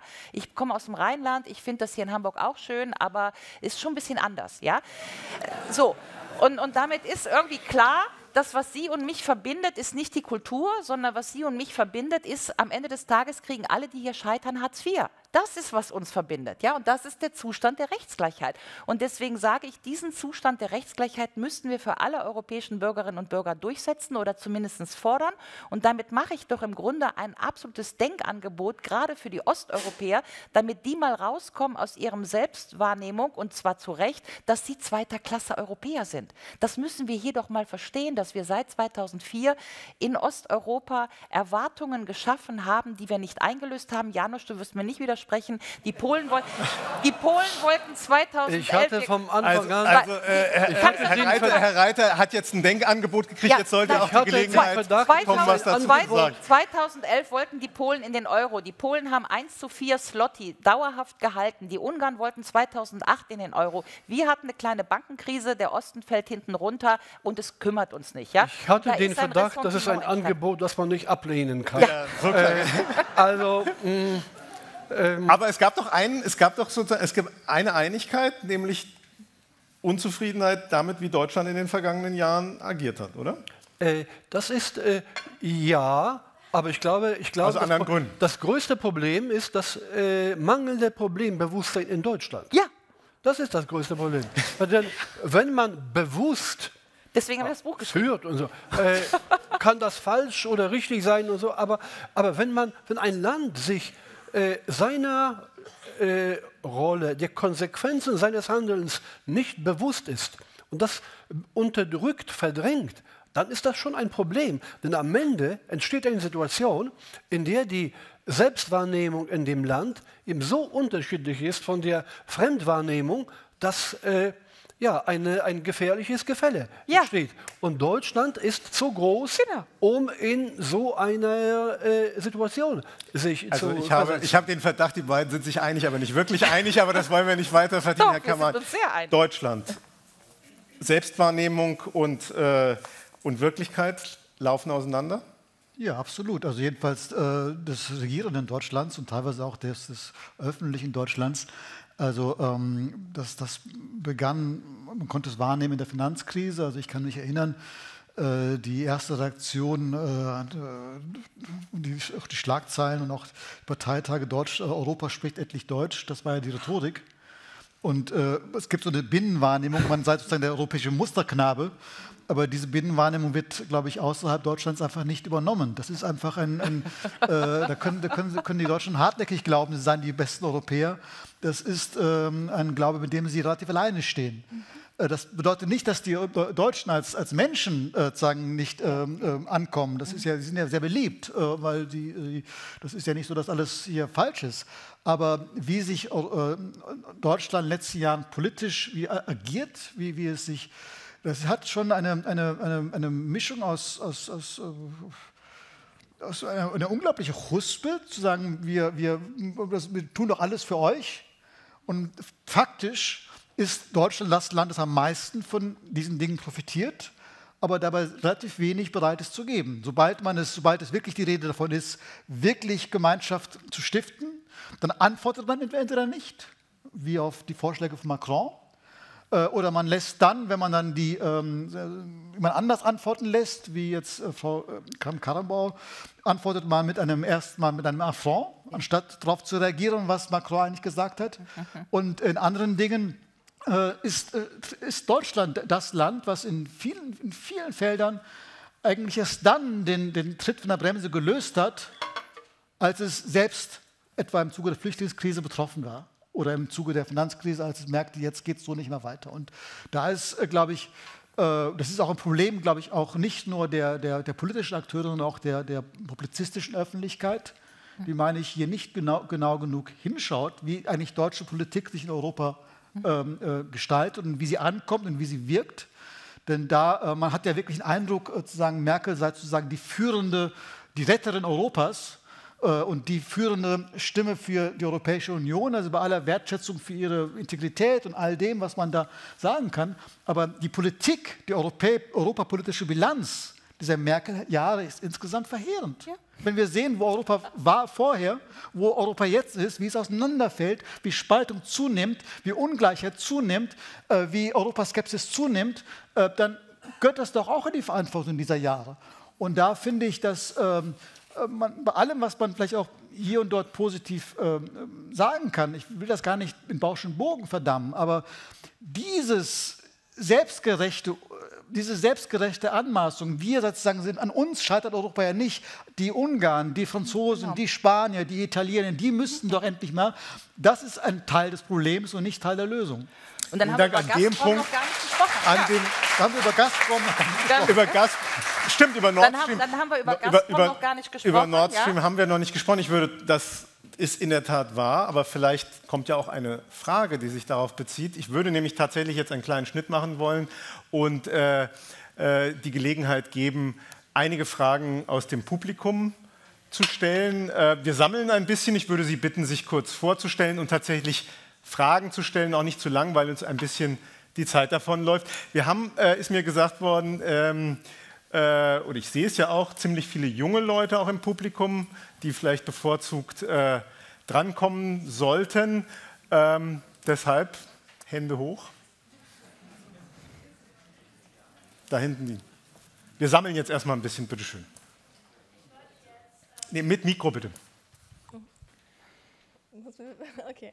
Ich wollte generell einmal fragen, wie, wie das so funktioniert, dass ähm, Sachen entschieden werden, die, also ich sage jetzt einfach mal Artikel 13, was viele Jugendliche aufregt, wo es viele Demos gibt, wieso es trotzdem dazu kommt, dass Sachen durchgesetzt werden, die von den Menschen, die es betroffen, einen großen, ähm, naja, für die es ein großer Einschnitt sein kann. Also Beispiel YouTube, es gibt viele Sachen, die sind gut, aber es gibt auch viele Sachen, die sind schlecht. Trotzdem bin ich der Meinung, dass man nicht alles direkt ähm, schlecht sprechen soll, sondern dass man auch äh, sehen muss, dass es genug ähm, Politikwissen, genug äh, Arten gibt, sich selbstständig Bildung äh, zu holen und dass man das nicht vernachlässigen sollte. Also Vielen Dank. Wie gesagt, nur die kleine Bitte, sich vorzustellen bei den Fragen. Ähm, wer, jetzt habe ich die Bitte immer noch mal, ich kann mir das nicht alles merken. Wer, wer noch Fragen hat, bitte sich melden. Hier in der dritten Reihe. Ähm, hallo, mein Name ist Frido Wagner vom äh, Gymnasium Buckhorn. Und meine Frage würde an Sie gehen, Herr Kamani. Und zwar haben Sie gesagt, dass äh, es ein Problem ist, dass zum Beispiel, wenn Griechen ähm, wählen, dass sie dann halt nicht wirklich darauf äh, äh, Einfluss nehmen können, was dann halt letztendlich entschieden wird, weil es halt in Brüssel entschieden wird. Ähm, und meine Frage ist einfach nur, wie kann man das ändern? Also kann man irgendwie es so machen, dass es halt europäische Vertreter ist, die man dann direkt wählt, aber wenn die dann irgendwie aus anderen Ländern kommen, dann ist ja auch irgendwie, dann sind die ja trotzdem irgendwie beeinflusst von dem eigenen Land. Also sollte es europäische Vertreter geben, die man direkt wählt bei jetzt so Europawahlen wie die am Sonntag kommende? Das würde vielleicht, zu der Frage passt vielleicht dann auch die Frage, es gab ja die Idee transnationaler Listen, also das ist nicht immer nur Landes, das können wir dann vielleicht damit aufnehmen. Gibt es weitere Fragen? Ja. Ähm, ja, hallo, mein Name ist Svea Siegwart, auch vom Gymnasium Buckern und äh, meine Frage würde ähm, auf die Europäische Republik nochmal zurückkommen. Und zwar haben Sie ja die angepriesen und haben auch gesagt, warum Sie die haben wollten. Aber mich würde nochmal genau interessieren, wie Sie sich das vorstellen. Also Sie haben davon gesprochen, dass jetzt im Wahlkampf ähm, die europäischen Werte ähm, ja, verraten werden, haben Sie, glaube ich, gesagt. Und äh, wie stellen Sie sich das vor, dass wir innerhalb von Deutschland irgendwie am gleichen Strang ziehen und dann noch europaweit, dass es dann tatsächlich zu einer europäischen Verfassung kommen kann? Vielen Dank. Vielleicht noch zwei Fragen, zwei, drei Fragen, haben wir, glaube ich, noch Zeit. Ach so, ja. Oder sollen wir jetzt erstmal zurück und dann noch mal eine Runde machen? Sonst vergessen wir die Ja, okay. Dann machen wir es so. Artikel 13 war eine Frage, dann die Frage Griechenland, Brüssel und äh, die Europäische Republik. Wie soll das eigentlich funktionieren? Ich gebe es einfach mal so, wer möchte. Wer möchte was beantworten? Also das mit der Europäischen Republik geht, glaube ich. Während wir alle über die Upload-Filter nachdenken, ja, und ich ähm, da irgendwie nur so eine Generation-Dynamik drin vermesse. Also es ist echt total interessant. Ne? Ich hatte als Mega-Upload vor fünf Jahren diese, wo man sich die Filme runterladen konnte. Ne? Da hat mein Film, mein Sohn mich ganz hektisch angerufen, so Mama, Mama, du mach doch, machst doch was mit Europa. Wieso kann die EU jetzt mega Upload ver verbieten? Ja? Also die, die, das, was ich gerade nur interessant finde, ist, was Sie als Generation wahrnehmen und wo Sie auf der Straße sind und was wir hier verhandeln. Ja? Ich habe da keine äh, Antworten drauf. 13a äh, ist eine echte, äh, ich sag mal, im Grunde eine Detail, keine Detailfrage, will ich nicht sagen. Ja? Aber es gibt natürlich begründete Argumente zu sagen, wir müssen irgendwie eine Form des Copyrights im Internet finden. Ja, das ist die Diskussion. Aber interess viel interessanter, und dann bin ich auch schon bei der Republik, finde ich, was bei Ihnen Aufmerksamkeit erregt. Ja, also institutionelle Fragen offensichtlich irgendwie eher nur am Rande, aber Artikel 13a waren Sie alle da in allen Städten ähm, ich gehe mal zur Republik, ja, dann so. Wie ich mir das vorstelle, ist ganz einfach. Ich gucke immer auf die guten Zeiten, wo wir Europa gemacht haben und wo es solche Leute gab wie Mitterrand, Delors und Kohl, die gesagt haben, wir machen das jetzt mal. Ja? Übrigens ohne große Diskussion bei der Körperstiftung und in jedem Rathaus, sondern einfach mal, wir machen das jetzt. Ja? Und wie haben die das gemacht? Die haben eine, einen Vertrag gemacht und in diesem Vertrag gab es eine Stichtagsregelung und dann wurden Systeme umgestellt. Wir haben zum 01.01.1992 aus verschiedenen Märkten einen europäischen Binnenmarkt gemacht. Wie haben wir das gemacht? Wir haben 6000 Regelungen konvergiert und an einem Tag umgestellt auf den Binnenmarkt 92 und ab dem Tag durfte jedes Gut, äh, was irgendwo in Europa hergestellt wurde, überall verkauft werden. Sie sind zu jung, um das zu wissen, aber wir haben in den 80er Jahren in diesem Land große Schlachten geschlagen um das Reinheitsgebot des deutschen Bieres, weil wir ja der Überzeugung waren, dass nur unser Bier das Gute ist und wir deswegen kein tschechisches, dänisches oder belgisches Bier im Supermarkt wollten. Ja? Und dann hat der EuGH gesagt, nee, so ist es nicht. Die Tschechen können auch gutes Bier machen, ihr könnt es ja mal probieren, ihr Deutschen, ja, und jetzt können Sie genießen, dass wir tschechisches, dänisches und belgisches Bier im Supermarkt haben. Das war der Binnenmarkt. Ja? Das nennt man einfach eine Stichtagsregelung und alle Güter sind gleich vor dem Recht. Ja? Für die Güter gilt nämlich jetzt schon in Europa, was Herr Kamane und ich wollen, was für Bürger gelten soll. Die Gurke ist die Gurke ist die Gurke, ganz egal, ob die aus Spanien, Italien oder aus Holland kommt. So, dann haben wir gesagt, jetzt haben wir den einen Markt und dann kamen Herr Mitterrand und Herr Kohl und haben gesagt, es ist ein bisschen blöd, wenn wir einen Markt haben und auf diesem Markt kostet die Gurke da ein paar Escudos und da ein paar Schilling und da ein paar Lira und hier ein paar D-Mark. Es wäre besser, wir hätten noch eine Währung. Dann ist der Markt wenigstens transparent. Dann haben die wieder einen Vertrag gemacht und haben gesagt, so in den nächsten zehn Jahren machen wir noch eine Rechtskonvergenz, diesmal Rechtskonvergenz für Geld. Wir machen also aus Schilling, Escuda, Lire und Gulden, machen wir jetzt mal ein Euro ist ein Euro ist ein Euro. Und heute haben sie die alle im Portemonnaie und wenn sie nicht zufällig hinten noch drauf gucken, wo der herkommt, und manchmal haben sie Glück, haben sie einen griechischen oder so, ist jedenfalls der Euro in der Eurozone gleich vor dem Recht. Ja, also für Güter und Kapital haben wir schon Rechtsgleichheit. Jetzt will ich zur Europäischen Republik. Sage ich, ein Markt, eine Währung, eine Demokratie. Ich hätte gerne, dass wir das letzte Drittel auch noch gehen und wir schaffen Rechtsgleichheit für Menschen, die nämlich der Souverän sind, damit wir als Bürgerinnen und Bürger Europas genau das genießen, was die Gurke und der Euro schon genießen, nämlich Rechtsgleichheit. Und da hätte ich gerne auch mein Lieblingsgedicht von äh, Ringelnatz, weil ich ja gerade in Hamburg bin, ja, aber mit den letzten Metern hat man es ja schwer. Sie kennen das mit Ringelnatz. Es waren einmal zwei Ameisen, die wollten nach Australien reisen, doch in Altona auf der Chaussee, da taten ihnen die Beine weh und da verzichteten sie weise auf den letzten Teil der Reise. Ja, so. Und das ist genau das, was wir gerade in Europa machen. Wir sind die ersten Meter gegangen, den Markt und die Währung haben wir schon, das letzte Drittel haben wir gerade darauf verzichtet, die Meter zu gehen. Ich würde sagen, wir sollten die gehen. Und das heißt nochmal, wir machen einfach Rechtsgleichheit für Bürger. Wie könnte man das machen? Wir machen nochmal einen Vertrag. Wir machen nochmal eine Stichtagsregelung. Wir sagen zum Beispiel, zum 01.01.2025 wollen wir auch eine europäische Sozialversicherungsnummer für alle europäischen Bürgerinnen und Bürger und eine europäische Steuernummer für alle europäischen Bürgerinnen und Bürger. Und zwar die gleiche. Ja? Ganz egal, ob sie in Portugal oder in Helsinki geboren werden. Und dann könnte man das System umstellen. Wir könnten es sogar bestandsneutral machen. Das heißt, alle Menschen, die jetzt hier in Europa sind und das wäre politisch zu anstrengend, die stellen wir nicht mehr um, die phasen wir out in ihren nationalen Systemen. So haben wir es ja mit der D-Mark auch gemacht. Aber für alle Nachgeborenen, also alle, die ab dem 01.01.2025 geboren sind, beschließen wir diese europäische Sozial- und Steuerversicherungsnummer. Und dann kriegen wir die gleiche Konvergenz hin für die Bürger, die wir früher für die Währung und die Güter im Prinzip gemacht haben. Das finde ich eine Vollendung des europäischen Projektes. Das ist das Europa, das ich will. Und deswegen nenne ich das Europäische Republik. Herr, Herr Kammann. Ja, ähm, zunächst einmal, äh, der Gedanke ist ja nicht ganz neu dass man diese politische Einheit äh, zusammen auch vollziehen muss.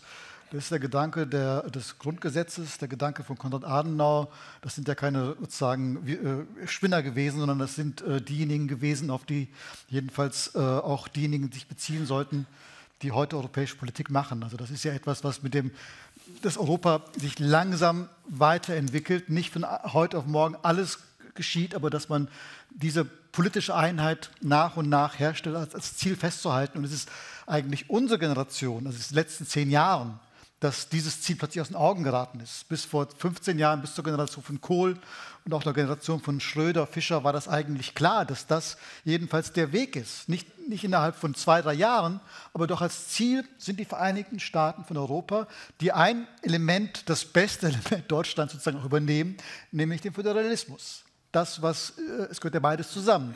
Es kann kein Superstaat werden, der alles bestimmt, sondern ein föderales Europa. Und jetzt komme ich zu der Frage, also den Upload filtern ist wirklich eine lange Diskussion. Ich finde, da ist die Frage, die europäisch ist, wie kommt es zu dem Beschluss? Dem, ob der Beschluss selber richtig ist oder nicht, das ist eine Diskussion, die, glaube ich, wir hier nicht zu Ende führen können.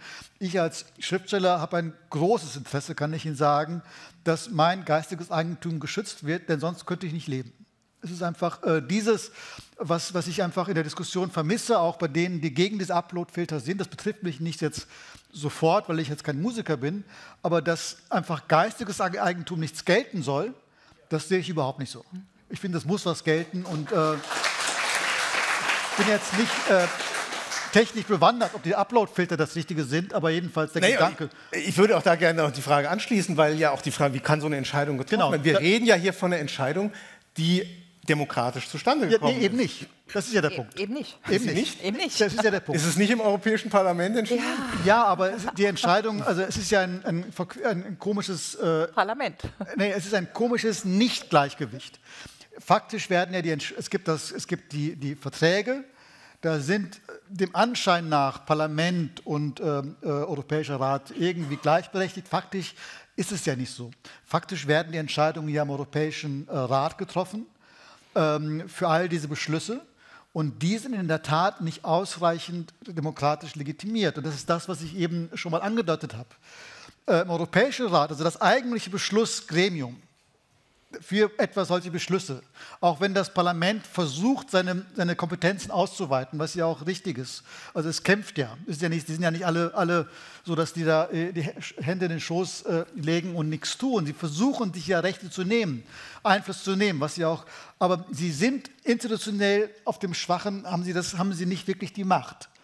Ähm, Beschlüsse werden gefasst von Politikern, von Staats-, von Regierungsvertretern, die national gewählt sind, aber die europaweit, äh, deren Beschlüsse europaweit gelten. Das heißt, diejenigen, dieser, die, den Europäischen Rat, sind nicht allen Europäern verpflichtet, sondern sind ihren eigenen nationalen Wählern verpflichtet. Was dazu führt, dass immer in diesen Beschlüssen das nationale Interesse voransteht, weil sie müssen sich ja vor ihrer nationalen Wählerschaft verantworten und nicht vor einer gesamteuropäischen.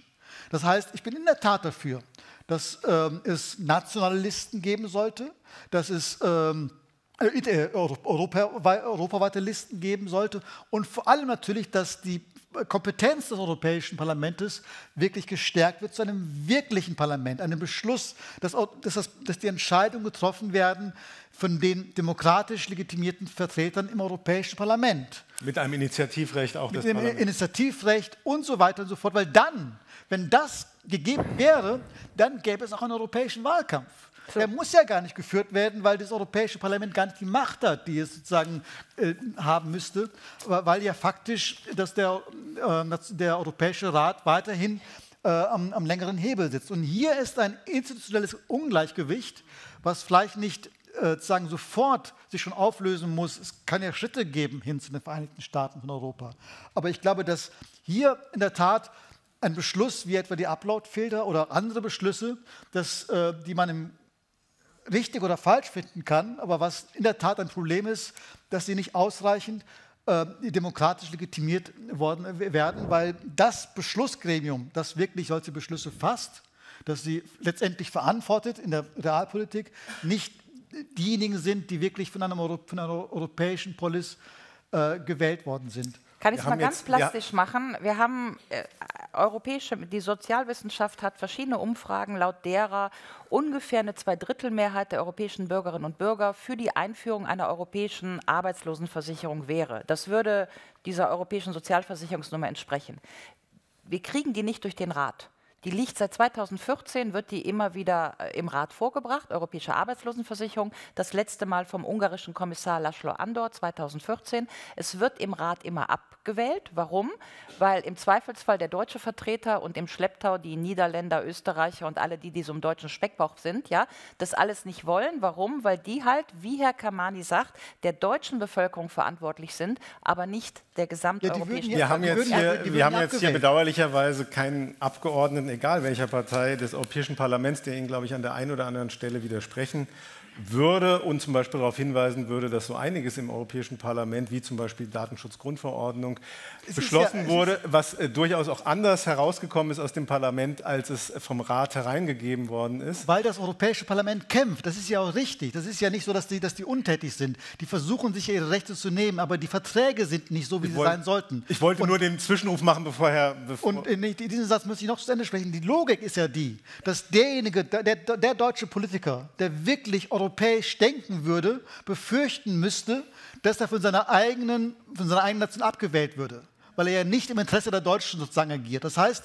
das ist ja der Widerspruch. Das heißt, wir sorgen ja dafür, weil wir innerhalb der Nation demokratisch sind, dass unsere Vertreter immer das Interesse der Nation voranstellen. Und das macht diese Europäische Union sozusagen so, äh, diese Beschlüsse so schwierig. Das heißt, wir müssten natürlich nicht das, ist, das, könnte, das sind ja zwei Seiten einer Medaille. Wir brauchen nicht diesen europäischen Superstaat, der bis ins Kleinste hinein alles regelt. Überhaupt nicht. Es geht wirklich um die grundlegenden mhm. äh, äh, Themen der Außenpolitik, der Sozialpolitik, der Finanzpolitik.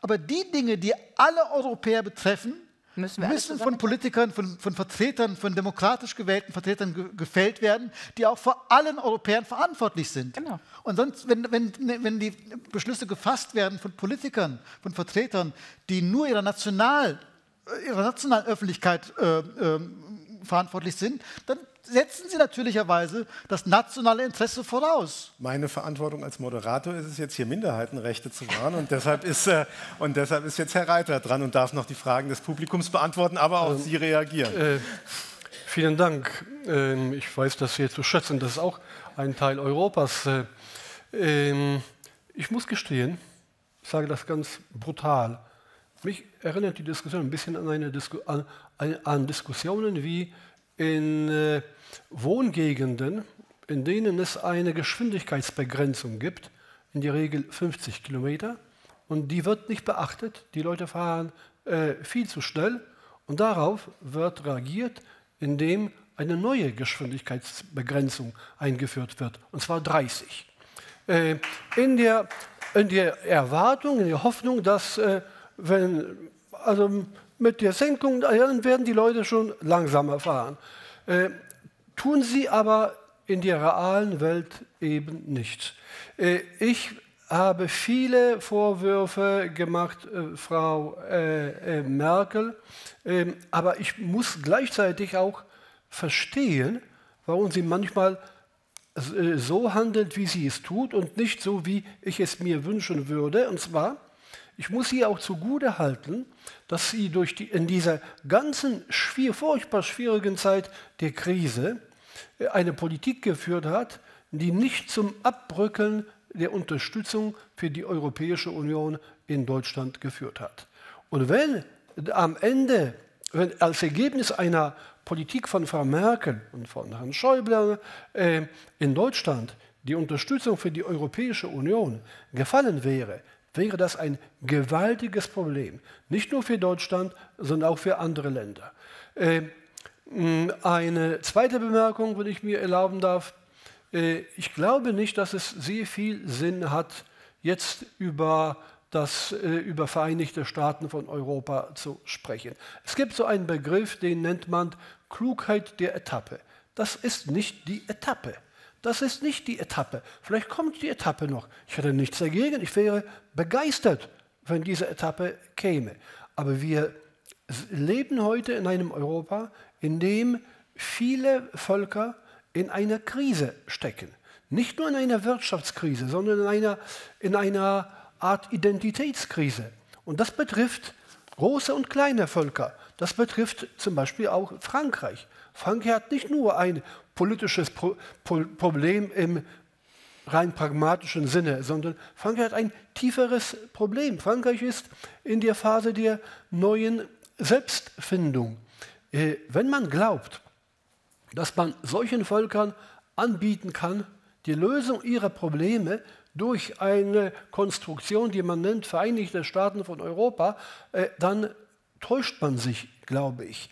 Äh, erst, es ist die, die, diese falsche Hoffnung, die es seit langem gibt, dass gescheiterte Nationalstaaten gute äh, Bestandteile äh, eines oder erfolgreiche Bestandteile eines integrierten Europa äh, werden können. Ich glaube nicht daran. Ich glaube, dass nur wenn die Menschen in ihren eigenen Ländern das Gefühl haben, dass es ihnen gut geht, dass sie die Dinge auch kontrollieren, nur dann sind sie, imstand, sind sie bereit, über eine weitergehende Integration, über eine engere äh, Integration zu sprechen. Heute bekommt man stattdessen, anstatt Begeisterung, bekommt man Angstgefühle. Und ich glaube, diese Angstgefühle können dann zu einer Reaktion führen, die sozusagen das Gegenteil bewirkt zu dem, was Ulrike äh, äh, will und wofür ich, wie gesagt, persönlich große Sympathie habe. Und ich hatte sogar ein bisschen diesen Traum geteilt vor äh, 10, 15 Jahren. Aber ich glaube eben, eben, das ist nicht die Etappe, in der das die beste Antwort ist auf die Probleme, die wir in Europa haben. Ich finde das interessant, weil wir jetzt zum Ende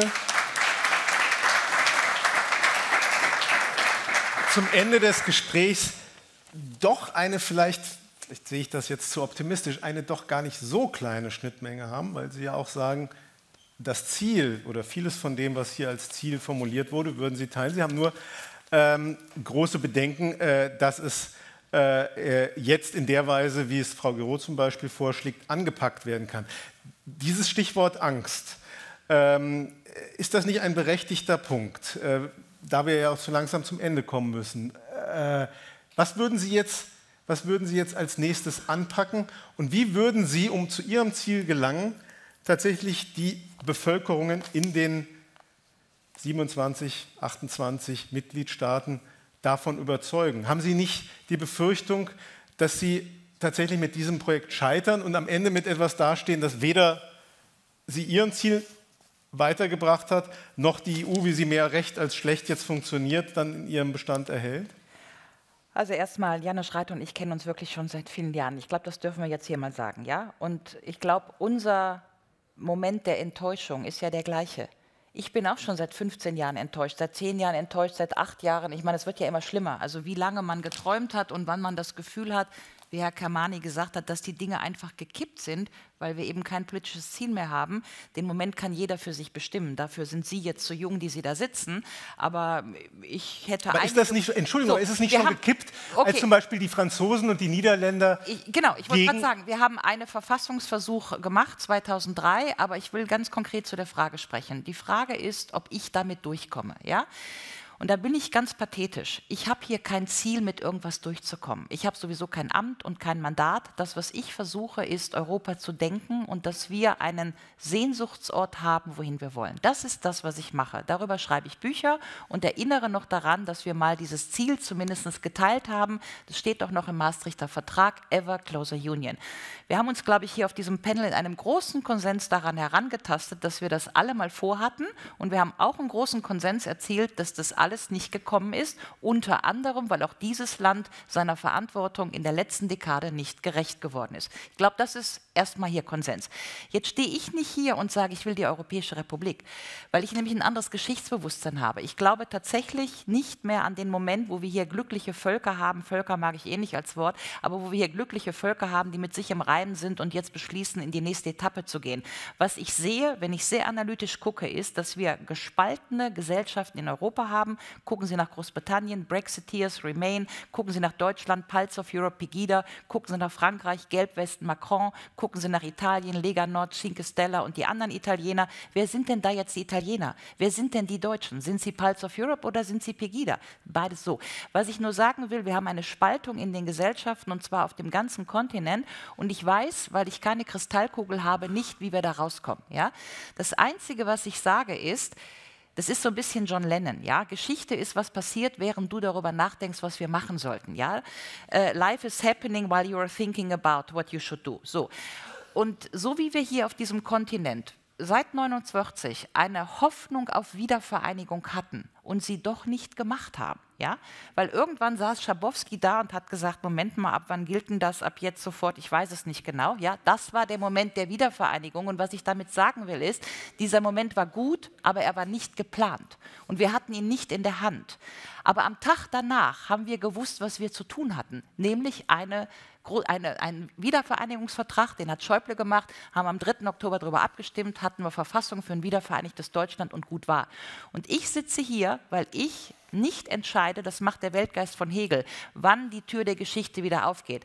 Aber dass die EU, so wie sie ist, stabil ist, das, glaube ich, kann man nicht behaupten. Und insofern versuche ich, ein plausibles Diskursangebot zu machen, was wir tun könnten, wenn wieder so ein Schabowski-Moment in Europa entsteht. Ja? Und dass wir am Tag danach wissen, was wir zu tun haben, nämlich Europa zu begründen auf dem allgemeinen politischen Gleichheitsgrundsatz für alle Bürgerinnen und Bürger.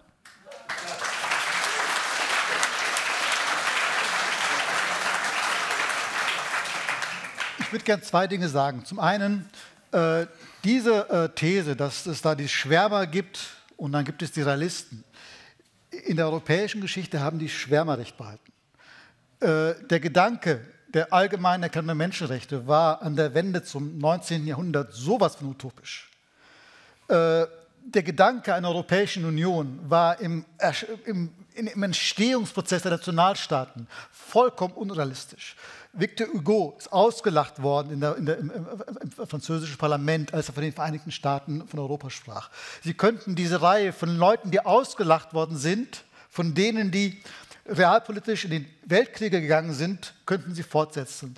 Die nicht noch Stefan Zweig hat noch 1932, 32 hat Stefan Zweig von Europa als seinem Evangelium gesprochen. Wie realistisch war das 32? Natürlich war es nicht realistisch. Natürlich hätte er damit keine Wahlen gewinnen können. Aber gerade weil es Menschen gab, diese ominösen Dichter und Denker und ein paar andere, die sagen, über eine Wahlperiode hinaus gedacht haben, die ein paar Ideen entwickelt haben, äh, die dann in einer bestimmten konkreten politischen Konstellationen wie nach 45 gab es ja die Ideen. Wenn es die Ideen nicht gegeben hätte, hätte man 45 nichts damit anfangen können. Und das Zweite, was ich sagen möchte, ist, was passiert, wenn wir die Ideen nicht haben? Ich habe, äh, ich kann Ihnen äh, eine Anekdote sagen. Ich war eine Woche vor dem Brexit, hat mich ein deutscher Politiker, ich sage nicht wer, hat mich besucht, wir hatten in Köln ein Gespräch, ein führender deutscher Politiker. Und, ich, und alle dachten ja, der Brexit wird nicht kommen. Und ich fragte ihn, ja, was ist denn, wenn er nicht kommt, wenn er kommt? Was ist denn, wenn es schief läuft? Gibt es da irgendeinen Plan? Also gibt es einen Plan, dass sich am Sonntagabend dann die europäischen Führer irgendwie zusammensetzen und dann eine Erklärung herausgeben oder einen, einen Stufenplan oder wie gehen wir denn damit um? Und er hat mich noch am Freitag angerufen. Es gibt keinen Plan. Wenn man sagen nur. Kann ich bestätigen, ich war in Brüssel. Ja, also, also wenn man nur für den Augenblick denkt, also nur sagen, von Entscheidung zu Entscheidung, dann ist man einfach planlos in solchen Situationen. Das heißt, das, was Herr Reiter sagt, dass natürlich, wenn, Sie jetzt in, in, wenn ich jetzt in, Brüssel, was ich jetzt hoffentlich und nie werde, irgendein Amt oder was, würde ich auch nicht sagen, nächste, der nächste Schritt wäre jetzt Einführung der Vereinigten Staaten von Europa. Aber ich würde zum Beispiel sagen, aha, es ist doch keine schlechte Idee, über Verträge die nicht funktionieren, neu nachzudenken und dann einen Vertrag unseren Völkern, diesen Begriff mal zu nehmen, unseren Völkern vorzulegen, der überzeugender ist als die bestehenden Verträge. Man muss doch ernst nehmen, dass Europa in den letzten Jahren keine einzige Abstimmung gewonnen hat.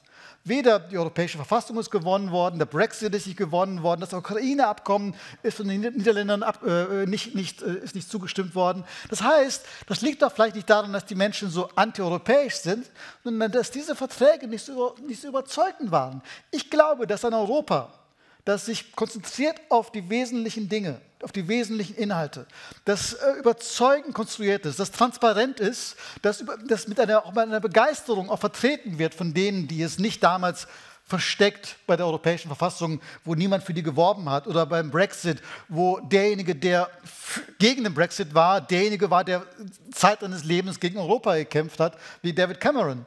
Wenn Sie wirklich einen überzeugenden Vertragsentwurf haben, der wirklich die Dinge auch transparent macht, der klar macht, es geht nicht darum, alles klein, klein zu regeln. Ist die Entscheidung, take back control. Genau das wollen wir machen. Wenn Sie das den Menschen vorlegen, den Völkern, dann bin ich mir sicher, dann wird in einer Mehrzahl der europäischen äh, Länder, gäbe es Mehrheiten für einen überzeugenden Entwurf. Und wenn es dann mal nicht Mehrheiten gibt in einzelnen Ländern, ist das ebenso. Dann wird sich zeigen, dass diejenigen Länder, die enger kooperieren, mehr Wachstum, mehr wirtschaftlichen Wohlstand, besseren Umweltschutz, bessere Standards, bessere Sozialverträge und so weiter haben. Und sie erreichen die Dynamik, die diese Europäische Union hat anwachsen lassen. Das heißt, wenn Sie eine erfolgreiche Europäische Union haben, werden dann vielleicht, wenn Sie, es mag dann sein, dass noch nicht jeder mitmacht. Aber es wird ein solches erfolgreiches Projekt sein, das wieder eine Anziehungskraft auslöst, die es gegenwärtig nicht hat. Und sie werden die Zustimmung auch der ausstehenden ähm, Gesellschaften gewinnen. Das ist, glaube ich, das wäre so ein bisschen die, die, die, der Agenda im Konkreten, ganz konkret.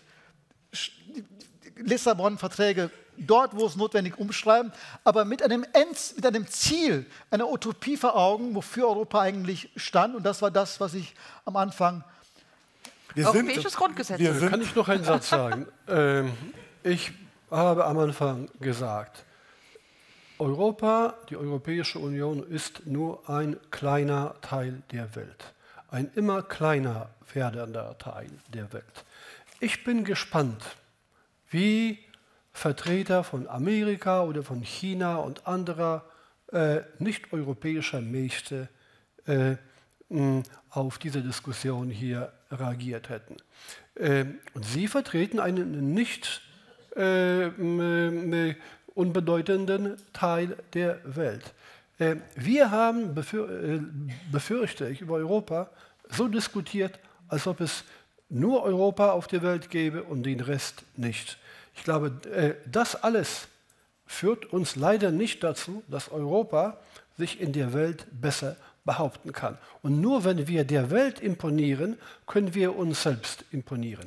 Und ohne dass wir uns selbst imponieren, werden wir in der Welt auch keinen Erfolg haben. Herzlichen Dank.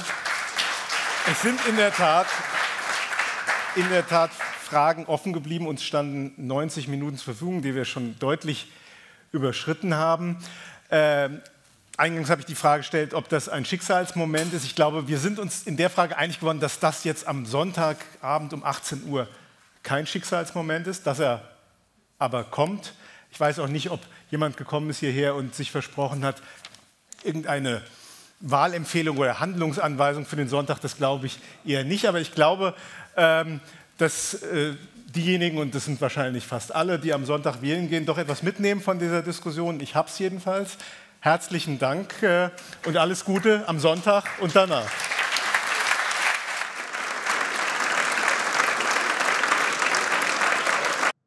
Hat euch das Video gefallen? Dann abonniert unseren Kanal, um kein Video zu verpassen. Schaut gern auch in unserer Mediathek vorbei auf körper-stiftung.de slash Mediathek und folgt uns auf Facebook, Instagram und Twitter. Danke fürs Zuschauen und bis bald.